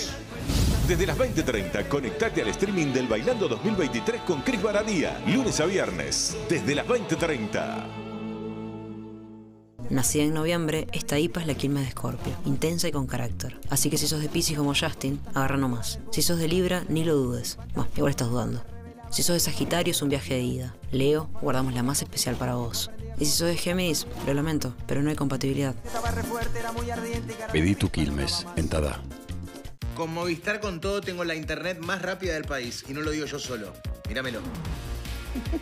¿Cómo brilla ese bebo, eh? Lo digo yo también. Además viene con tres meses gratis de Movistar TV. ¿Posta gratis? Sí, campeón. Gratis. Con fibra, con TV, con celu. Movistar con todo. ¿Dolor de espalda alta? Llegó el rolón de tu espalda. Nuevo Bengué Rolón con aplicador esférico para un automasaje efectivo. La esfera presiona sobre la zona activando su acción desinflamante y analgésica, sin ensuciar las manos y sin dejar olor. Nuevo Bengué sin olor Rolón. El rolón de tu espalda. ¿Sabes por qué Patalgina hace tan bien? Porque combina las propiedades de la alcachofa, la boldina, el mentol y la zanahoria.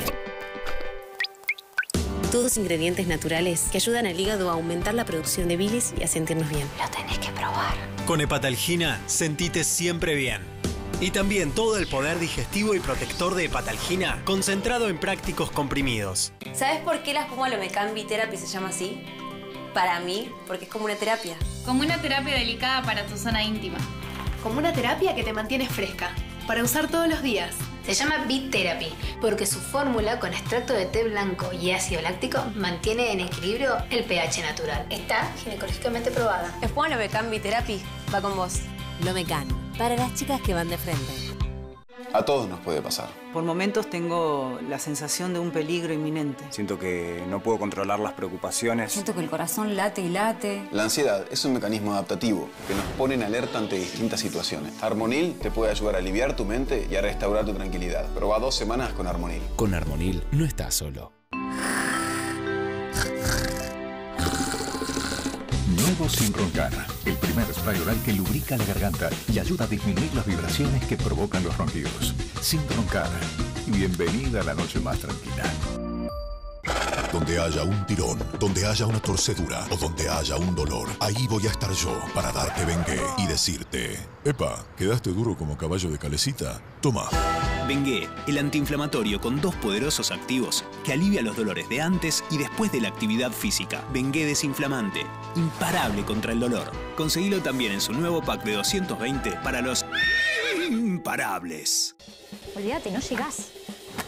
Es súper tarde. Seguro que te quedas en blanco. Si estás ansioso, irritado o nervioso, prueba el nuevo Melatol Día Relax. Un sedante con extractos de origen natural que te ayudan a mantener la calma en tu día a día. Melatol Día Relax. Soy Sofi Jujuy y alguna vez tuve una infección vaginal. Como vos. Y como vos, sentí picazón, ardor. Le consulté a mi ginecóloga y me recomendó Lomecan. Lomecan ve un día óvulo. Te lo pones antes de dormir y listo. Actúa de la noche a la mañana aliviando el ardor, la picazón y cambios en el flujo. ¿Y vos? ¿Cómo querés sentirte hoy? Lomecan un día, para las chicas que van de frente. Llegó Adermicina facial, con ingredientes esenciales para la piel de tu cara. Adermicina humectante aporta hidra ingredientes que renuevan la humedad de la piel. Una bomba de hidratación. Y lo mejor, no testeada en animales, envases reciclados y sin parabenos, como me gusta a mí. Haceme caso y probalas. El precio es para que no te las pierdas. Nueva línea de cuidado facial Adermicina. Empezó un buen día con Dulcolax. Lista para salir a entrenar y relajar. Proba Dulcolax antes de dormir. Alivio efectivo de la constipación sin generar urgencias repentinas. Dulcolax, libera el camino para liberar tu día.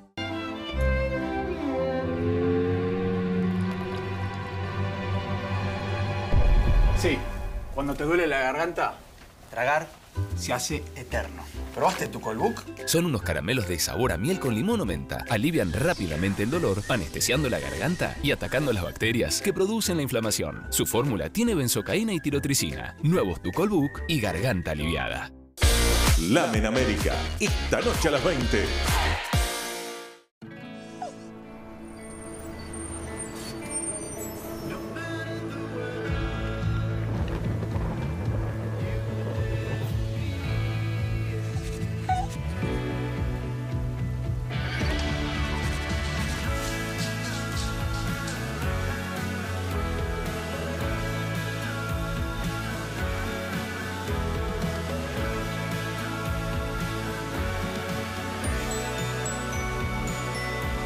Cuando se agranda la familia, fíjate en Frávega. Chicas, vean esto. Es el nuevo Evagina Deo íntimo. Tremendo, a ver, mostrame. Un desodorante que mantiene fresca la zona vulvar todo el día. A ver. Esto es el invento del siglo. Está claro, ¿no? Tenés tu desodorante para las axilas y ahora este para la zona íntima. Ah, espectacular. ¿Y el pH? Lo respeto. ¿Dura todo el día? Sí. Y lo puedo llevar en la mochila, en la cartera. Lo que vos quieras. No, bueno.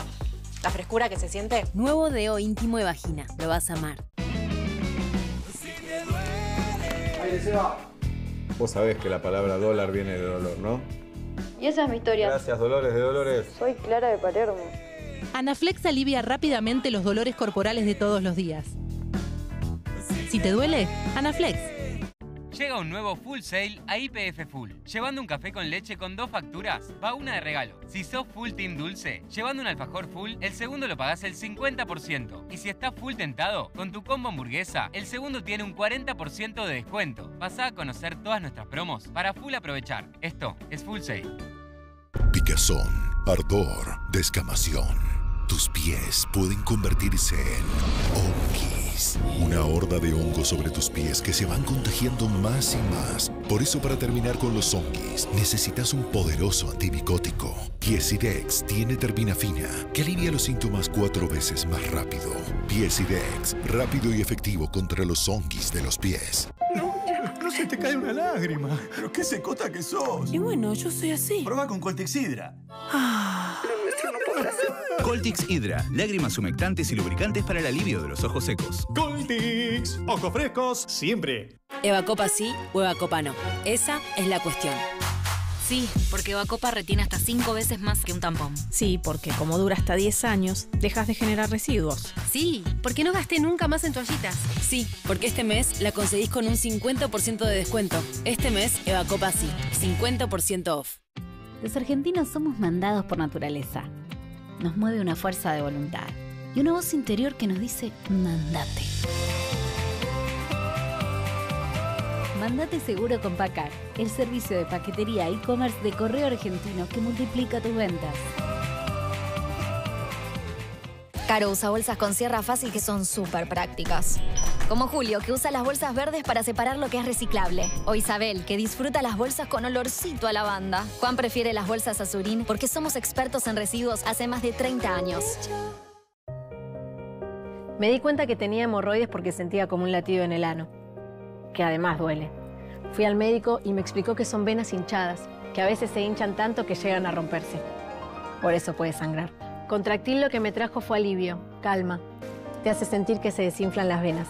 Su efecto flevoconstrictor alivian la picazón, el dolor y la inflamación desde la primera toma. Y este mes, Contractil Extra Pack a un precio extra conveniente.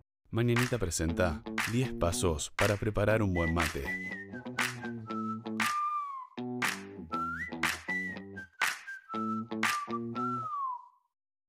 Perdón, 12 pasos.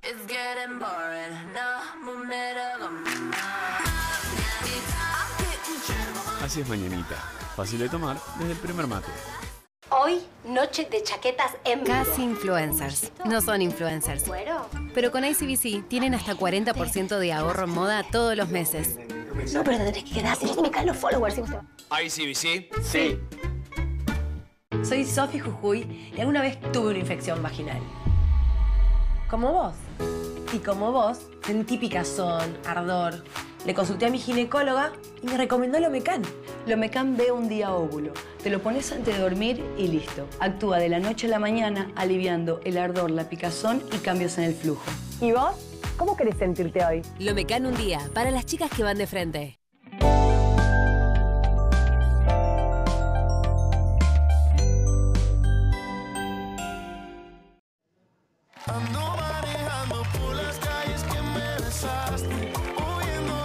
Aquí estamos de regreso en Naldo. Vas a encontrar la mayor variedad de productos para equipar tu casa o darte un gusto. Pasa por cualquiera de sus sucursales o entra a naldo.com.ar y aprovecha todas las ofertas que Naldo tiene para vos y como siempre con la mejor financiación. Seguilo en sus redes sociales, arroba naldo-digital. Entérate antes de las ofertas y participa de muchísimos sorteos. Naldo, un amigo de la casa. Entra a naldo.com.ar y encontrá la mayor variedad de artículos para equipar tu casa. Como siempre, con la mejor financiación y envíos a todo el país. Naldo, un amigo de la casa. Qué programa fuerte hoy. La verdad que estamos todos muy movilizados. Vamos a aliviar un poquito con el bailando. Sí. Hoy se viene. ¿Quién baila esta noche? Bueno, Coqui Ramírez, Maxi de la Cruz, Romina Malaspina, Ajá. que a su bailarín le hicieron un homenaje medio porno. Te lo voy a decir. ¿Cómo es un homenaje? ¿Por qué al bailarín homenaje porno? Ay, ahora quiero saber eso. Me Y interesa. Y. Yeyo y Martu Morales. Quiero saber, no sé. Ahora le vamos a Yo, al igual que todos los argentinos, no tengo ninguna duda que a la hora de elegir las mejores bolsas para residuos, la mejor opción es Azurín, porque cuando necesitas una buena bolsa, Azurín es tu aliada, porque son súper fuertes, con cierra fácil, únicas, con aroma, verdes y negras, lo que necesites. Y esto no es casualidad, porque Azurín es experta en residuos hace más de 30 años. Mira, Caro usa bolsas con sierra fácil que son súper prácticas. Como Julio, que usa las bolsas verdes para separar lo que es reciclable. O Isabel, que disfruta las bolsas con olorcito a lavanda. Juan prefiere las bolsas Azurín porque somos expertos en residuos hace más de 30 años. La tenemos también a Pochi en el estudio. Va a salir desde el estudio, ya está preparada para registrar La- todo lo que no se ve. Las cosas que tiene. Sí, ¿no? Sí. Ay, muero por ver, muero por ver de lo que pasó anoche. Muy bien. ¿Tenés ganas de viajar? Con sus 120 sucursales, Al Mundo se ocupa de los pasajes, el hotel y todo lo que necesitas para un viaje increíble. al mundo hace todo. El viajero, nada. Qué bien suena eso. Me encantó. El viajero, nada. Pochi, ¿estás ahí? Pochi, Pochi. Hola. Uh, no sé. Uh. Yo tengo subtítulos. ya está el veneno. Ah, no, no se escucha, ahora lo vamos a resolver. Mientras te cuento que Good Skin es colágeno marino hidrolizado con ácido hialurónico y vitamina C que ayuda a mejorar la piel. Good Skin de Fransui, novedad mundial en dermonutrición, llegó a Argentina. Mira, Llegó Goodskin y es mucho más que colágeno. Es colágeno marino hidrolizado y ácido hialurónico. Goodskin es el único líquido listo para beber, de mayor absorción y ayuda a tener una piel joven y radiante. Goodskin de Fransui, la mejor piel que podés llegar a tener. Amo Goodskin, es maravilloso, de verdad. Yo lo tomo todos los días, lo guardo en la heladera porque es más rico si lo enfrías. ¿eh? Te embellece la piel. Es, es buena piel, realmente. Lo digo porque lo tomo de verdad y Envidio. noto la diferencia no te tremendamente. ¿No me ves más joven? Quiero, No sí, solo sos más divina. joven. Yo te Quiero, cosa. quiero, quiero. Pero yo te di a vos, ya te lo tomaste todo. No, no te No, llegó. no. ¿Por qué? Ahora no, vamos a pedirle a la gente de Goodskin para todos. Así, así nos embellecemos la piel. ¿eh? Te veo entrar con una energía que digo, oh, quiero Sí, ese colágeno hidrolizado marino, me encantó. Pochi, ¿estás ahí? Pochi, no, no está. Todavía. Vas a tener que hablar conmigo, Mariana. Para mí es un boicot esto. Es un boicot para que no salga, no diga, no, se- no, no sepamos lo que está pasando. Creo que tiene miedo Marcelo Tineri de lo que vamos a contar hoy. Ay, Ahora, me ah, están me diciendo, muero. ¿Cómo que hay interna? No, no hay interna. Dicen que hay interna entre Pochi y Pepe. No, no hay interna. Y ¿Quién eso es una- es una falsa interna, ¿eh? Yo no, yo mira, mi amor, si llega Ah, interna le conmigo, no vos tiene... el micrófono. Andrea. No, ¿cómo va a suceder eso? Son un equipo. amigos, si confían, Son, claro. Un equipo. Sí, bueno, te quiero Pepe. contar que Sí. eh, vamos a hablar del bailarín de Romina. A ver, contame. ¿El, porno, el que le hicieron el homenaje porno? Le hicieron un homenaje porque al parecer es como los de OnlyFans. ¿qué significa? ¿Que él, él vende su...? Vende. Ah, Contenido erótico. muy bien. Se lo encontraron. No, no. ¿Se lo encontraron en una ¿Querés que te muestre aplicación? una foto? Ay, bueno.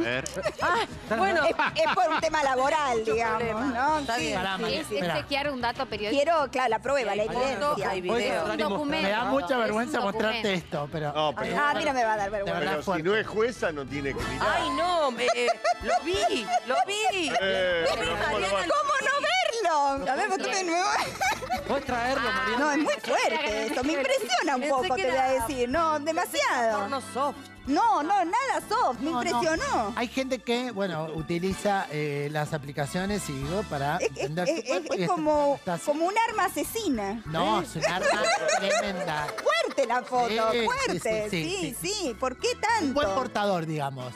Sí, bueno, pero de- demasiada ostentación. no me gusta la ostentación. Raro, pero eso, eso está así eh, libremente. Está vivo.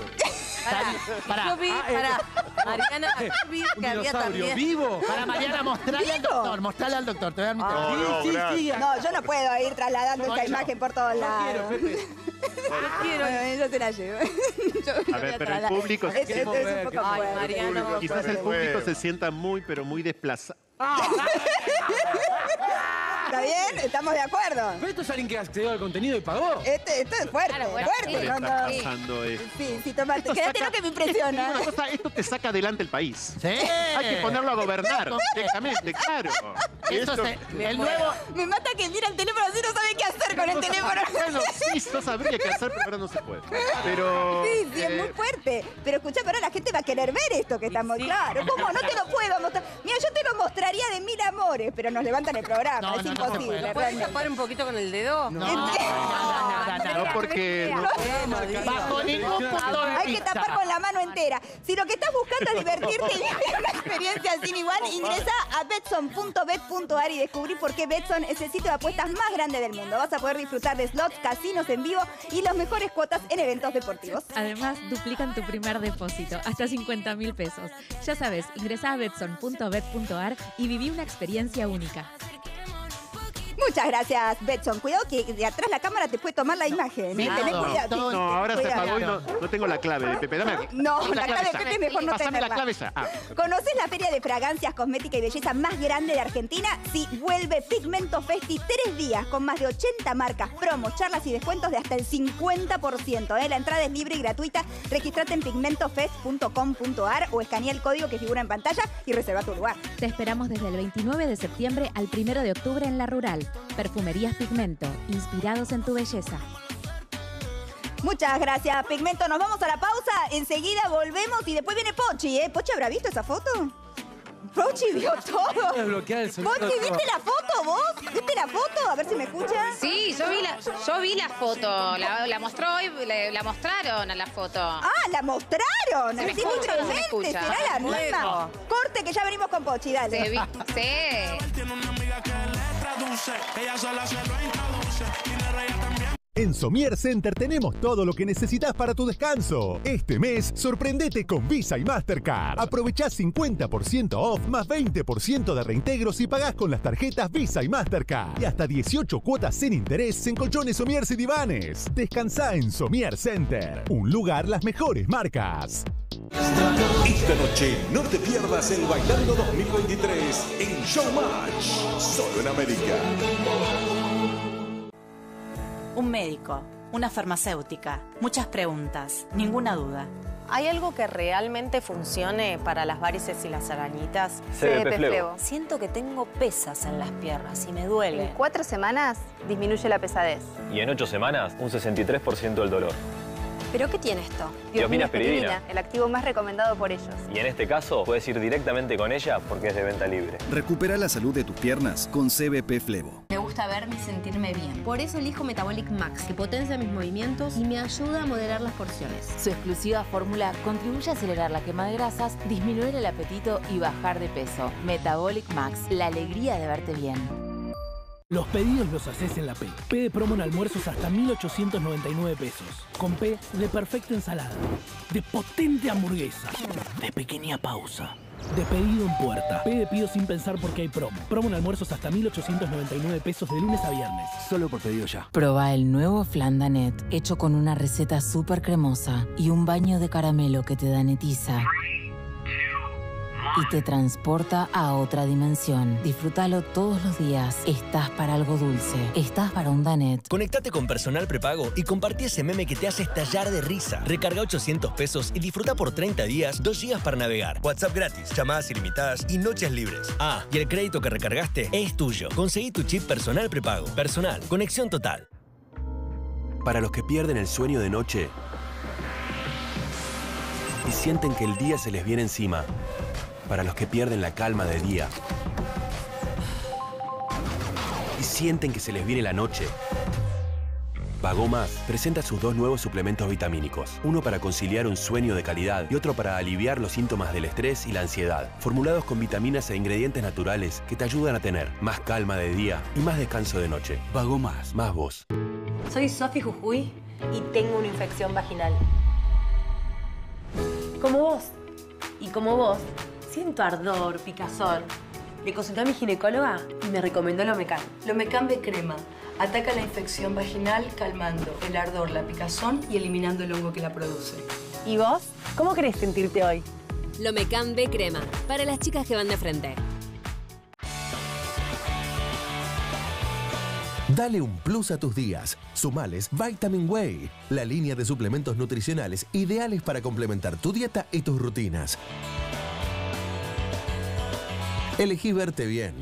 Elegí sentirte bien. Vitamin Way, un estilo de vida saludable. Y para los que sufren de alergia, no hay un buen pronóstico. Se aproxima un frente de estornudos y lagrimeo acompañado de picazón con secreción nasal que ya está abarcando toda esta zona. Cuando la alergia avanza, necesitas la rápida acción de Alarmix. Su formulación líquida alivia tres veces más rápido todos los síntomas de la alergia. Para la alergia, nada más rápido que Alarmix. Es el único camino que querés hacer todos los días. Es el único vuelo que disfrutás. Y Curflex con colágeno UC2 es el único que cuenta con la tecnología que permite mantener la estructura del colágeno intacta, aumentando la disponibilidad para su absorción. Más alivio, más resistencia y más flexibilidad para el bienestar articular. Curflex, volvé a conectar con el movimiento. Personal más Flow es más, más velocidad, más entretenimiento, más conexión, más diversión. Internet 100 megas en tu casa por 3.990 pesos por mes. Más Flow Flex sin cargo por 3 meses. Pedilo ahora. No lo pienses más. Caro usa bolsas con sierra fácil que son súper prácticas. Como Julio, que usa las bolsas verdes para separar lo que es reciclable. O Isabel, que disfruta las bolsas con olorcito a lavanda. Juan prefiere las bolsas azurín porque somos expertos en residuos hace más de 30 años. A la tarde, hoy 16:15, solo en América. Señoras y señores, tenemos a alguien que no tenía por qué agarrar. Y teniendo la deuda más grande que un país contrajo en la historia, agarró el fierro caliente igual. Tenemos litio, gas y petróleo. Tenemos campo. Tenemos ríos y mucha gente que la rema. Tenemos deportistas que nos necesitan y tenemos a alguien que no los va a tachar. Porque ¿sabés qué es lo mejor que tenemos? Argentinas y argentinos que ahora pueden decir, tenemos con quién, tenemos con qué. Unión por la Patria. Sergio Massa, Agustín Rossi, candidatos a presidente y vicepresidente. Lista 134. ¿Viste cuando te sale un herpes? Haces cualquier cosa para que no se te vea. Te presentamos Oralzón Herpes con aciclovir, que bloquea el virus del herpes, alivia los síntomas y facilita la cicatrización. Oralzón Herpes, deténelo a tiempo.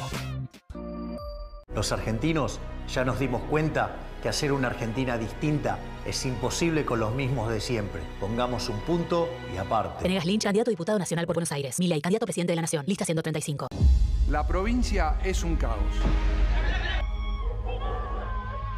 Nos acostumbraron a los piquetes, a los paros y a las escuelas donde hay clases solo de vez en cuando. A tener que dar tres vueltas a la manzana para que no te maten. Eso es caos. Tenemos que terminar para siempre con este caos que generó el kirchnerismo.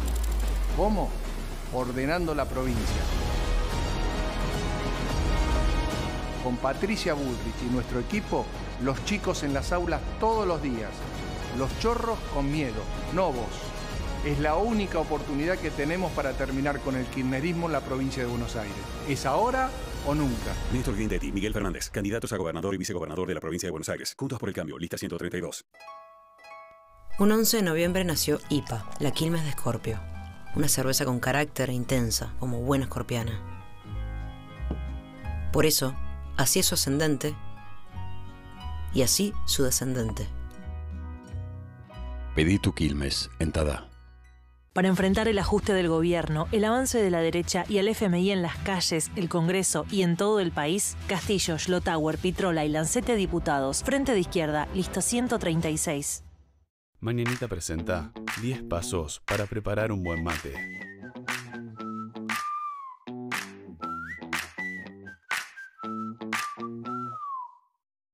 Perdón, 12 pasos.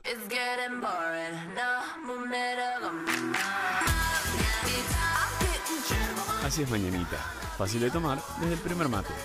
Los argentinos ya nos dimos cuenta que hacer una Argentina distinta es imposible con los mismos de siempre. Pongamos un punto y aparte. La libertad avanza. Mi ley presidente, Villarruel Vice, lista 135. Incorporar pescado te ayuda a nivelar el colesterol, bajar los triglicéridos y cuidar tu salud cardiovascular.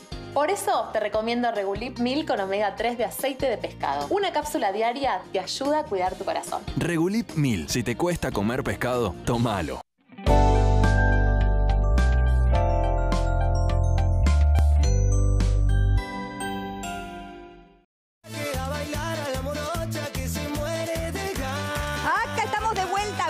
Ansioso, irritado o nervioso, todo se te vuelve en contra. Hasta vos mismo conoces esa sensación, ¿no? Probá el nuevo Melatol Día Relax. Melatol Día Relax, días naturalmente más tranquilos. Olvídate, no llegás. Es súper tarde. Seguro que te quedas en blanco. Si estás ansioso, irritado o nervioso, prueba el nuevo Melatol Día Relax, un sedante con extractos de origen natural que te ayudan a mantener la calma en tu día a día. Melatol Día Relax.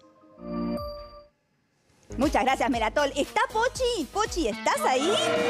Poniéndome los pantalones. Estoy acá, Mariana. Parece que estoy en el boliche. Sí, está en un boliche y barra, todo. Bien. No, no, no sabes lo que es este, no, no sabes lo que es este lugar, Mariana. Mostrame, a ver, mostrame. Yo te voy a mostrar la barra. Te voy a mostrar la barra donde Marcelo Tinelli en los cortes viene, le cierran todo para él y se sienta en esta silla solito a tomarse un gin tonic. Todos los días, un gin tonic. Ay, yo Ahora, viviría ahí, Espero que me de dejes sentarme barra. porque generalmente no te dejan sentarte. Claro, Te cuento que no me dejan sentarme, ahora voy a- aprovechar. ¿eh? Es, ¿Quién como no la silla de Ahora Tinelli. sabés que, que te Y digan agarran que este- no. Pero escuchame una cosa, y la gente eh, Ah, baila, ah. van, se toman Sí. el trago y después bailan. ¿Qué, qué? Es así como libre. La gente, no, no, no solo va y se toca el trago. Le hacen unos shots. Ahí está, a los ahí que lo están medios nerviosos, les Pochi, hacen unos shots. Perdóname Mira, que te interrumpa, pero estamos Si viendo nos puede la mostrar, imagen. A ver si nos puede mostrar un shot. Para que ¿Cuáles no me son los shots que se toman las personas? No me estás escuchando, Los famosos. ¿Cuáles son los shots que...? ¿Los de Sí. tequila? Decime. ¿De los de tequila? ¿El shot de tequila? Sí, mirá, Marian. Mirá. Ahí lo estoy Acá viendo a Marcelo que tomando. se toman las bailarinas. Ah, Mar- Ah, es grande. Claro. estamos Viene viendo la Marcelo. imagen. Pochi, ¿me escuchás? Porque estamos viendo la imagen que cierran la Sí, te cortina. escucho, te escucho, cuando te. Marcelo se sienta en la barra, ahí lo estamos viendo, que cierran la cortina. Marcelo va a estar chocho con que estamos mostrando eso. Eh, en Yo te digo, quiero ir a tomarme un trago con Marcelo ahí, en ese rato. Yo claro. hace, hace dos días en- entré. Me arrebaté y dije, Marcelo, permiso. Y entré. ¿Y? Le empecé a mostrar las redes. Le digo, mirá, hay que sos hacer un esto. atrevido, y, Pepe. y tuve como una reunión, pero yo nunca Porque entendí aparte que es era tu- su corralito para claro, que es él- un momento de, de- de- ¿no? de introspección, de encontrarse consigo mismo, de relajar, de no Claro, escuchar él a todo corre el la mundo. cortina. Absolutamente.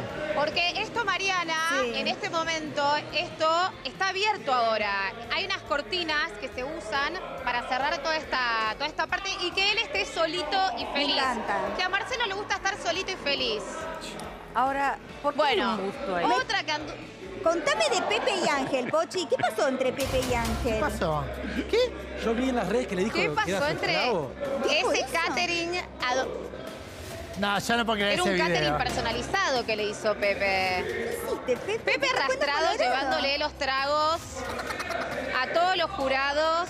Arrastrado porque te digo que algo son bravísimos porque no te podés ver atrás del jurado. No puede aparecer nadie atrás del jurado. ¡Qué maldad, A cualquiera Pochi, que esté ese ahí lo video! sacan. A verlo. El tema es así, yo ¿Vos estoy de viste un lo que lado... se te vio? ¿Cómo lo enganchamos a Pepe? Yo, pero lo estás dejando todo, Pero vos Pepe. sabés que hay No, no, derechos hay- humanos, Es ¿no? que hay de, hay de un lado del jurado y del otro. Y en el medio la pasarela, que si vos te metes, se ve. Señor. Y yo, la que, ¿Qué hace? no, la que está de este lado, que es una de las productoras de Polino y de Moria, y del otro lado está Pato, que es la productora de Pampita de Ángel. Y para cruzarse tragos, yo hago tipo... Eh, retar, vas retando. De un lado al otro y agarro los vasos y se los voy dando. O sea, o sea más servicio que ese no hay. No, servicio inteligente. Realmente. Mariana, yo Sí, yo quiero una barra acá. ¿Podemos pedir una barra? La hora tirado ¿Y la hora qué? ¿La, la hora qué? Si ahora la barra está abierta ahí. Me dice la hora, la hora. Me dice con esta barra que le quiero No, preguntar a pero Pochi. Mariana, escuchá, no todo el mundo, escuchá, hay una nueva política acá Me en la barra. ¿Cómo es? Hay una nueva política que se instaló para que la gente no ande borracha por el lugar. Sí, y bien. hacer solamente Está bien. tres tragos para los famosos O sea, y Mariana, dos tres. tragos para los bailarines. Ok. Ay, qué Al fea resto no le dan a nadie. No, está bien. ¿Cuál es esa política? Pará, te quiero contar por Pero qué. para, tres es bastante, ¿no? Sí. Mira, digo, tres traguitos, no. El tema fue así. Hubo, un- bastante. hubo un día, esto Pochi, contémoslo juntos, a ver qué data vos también tenés.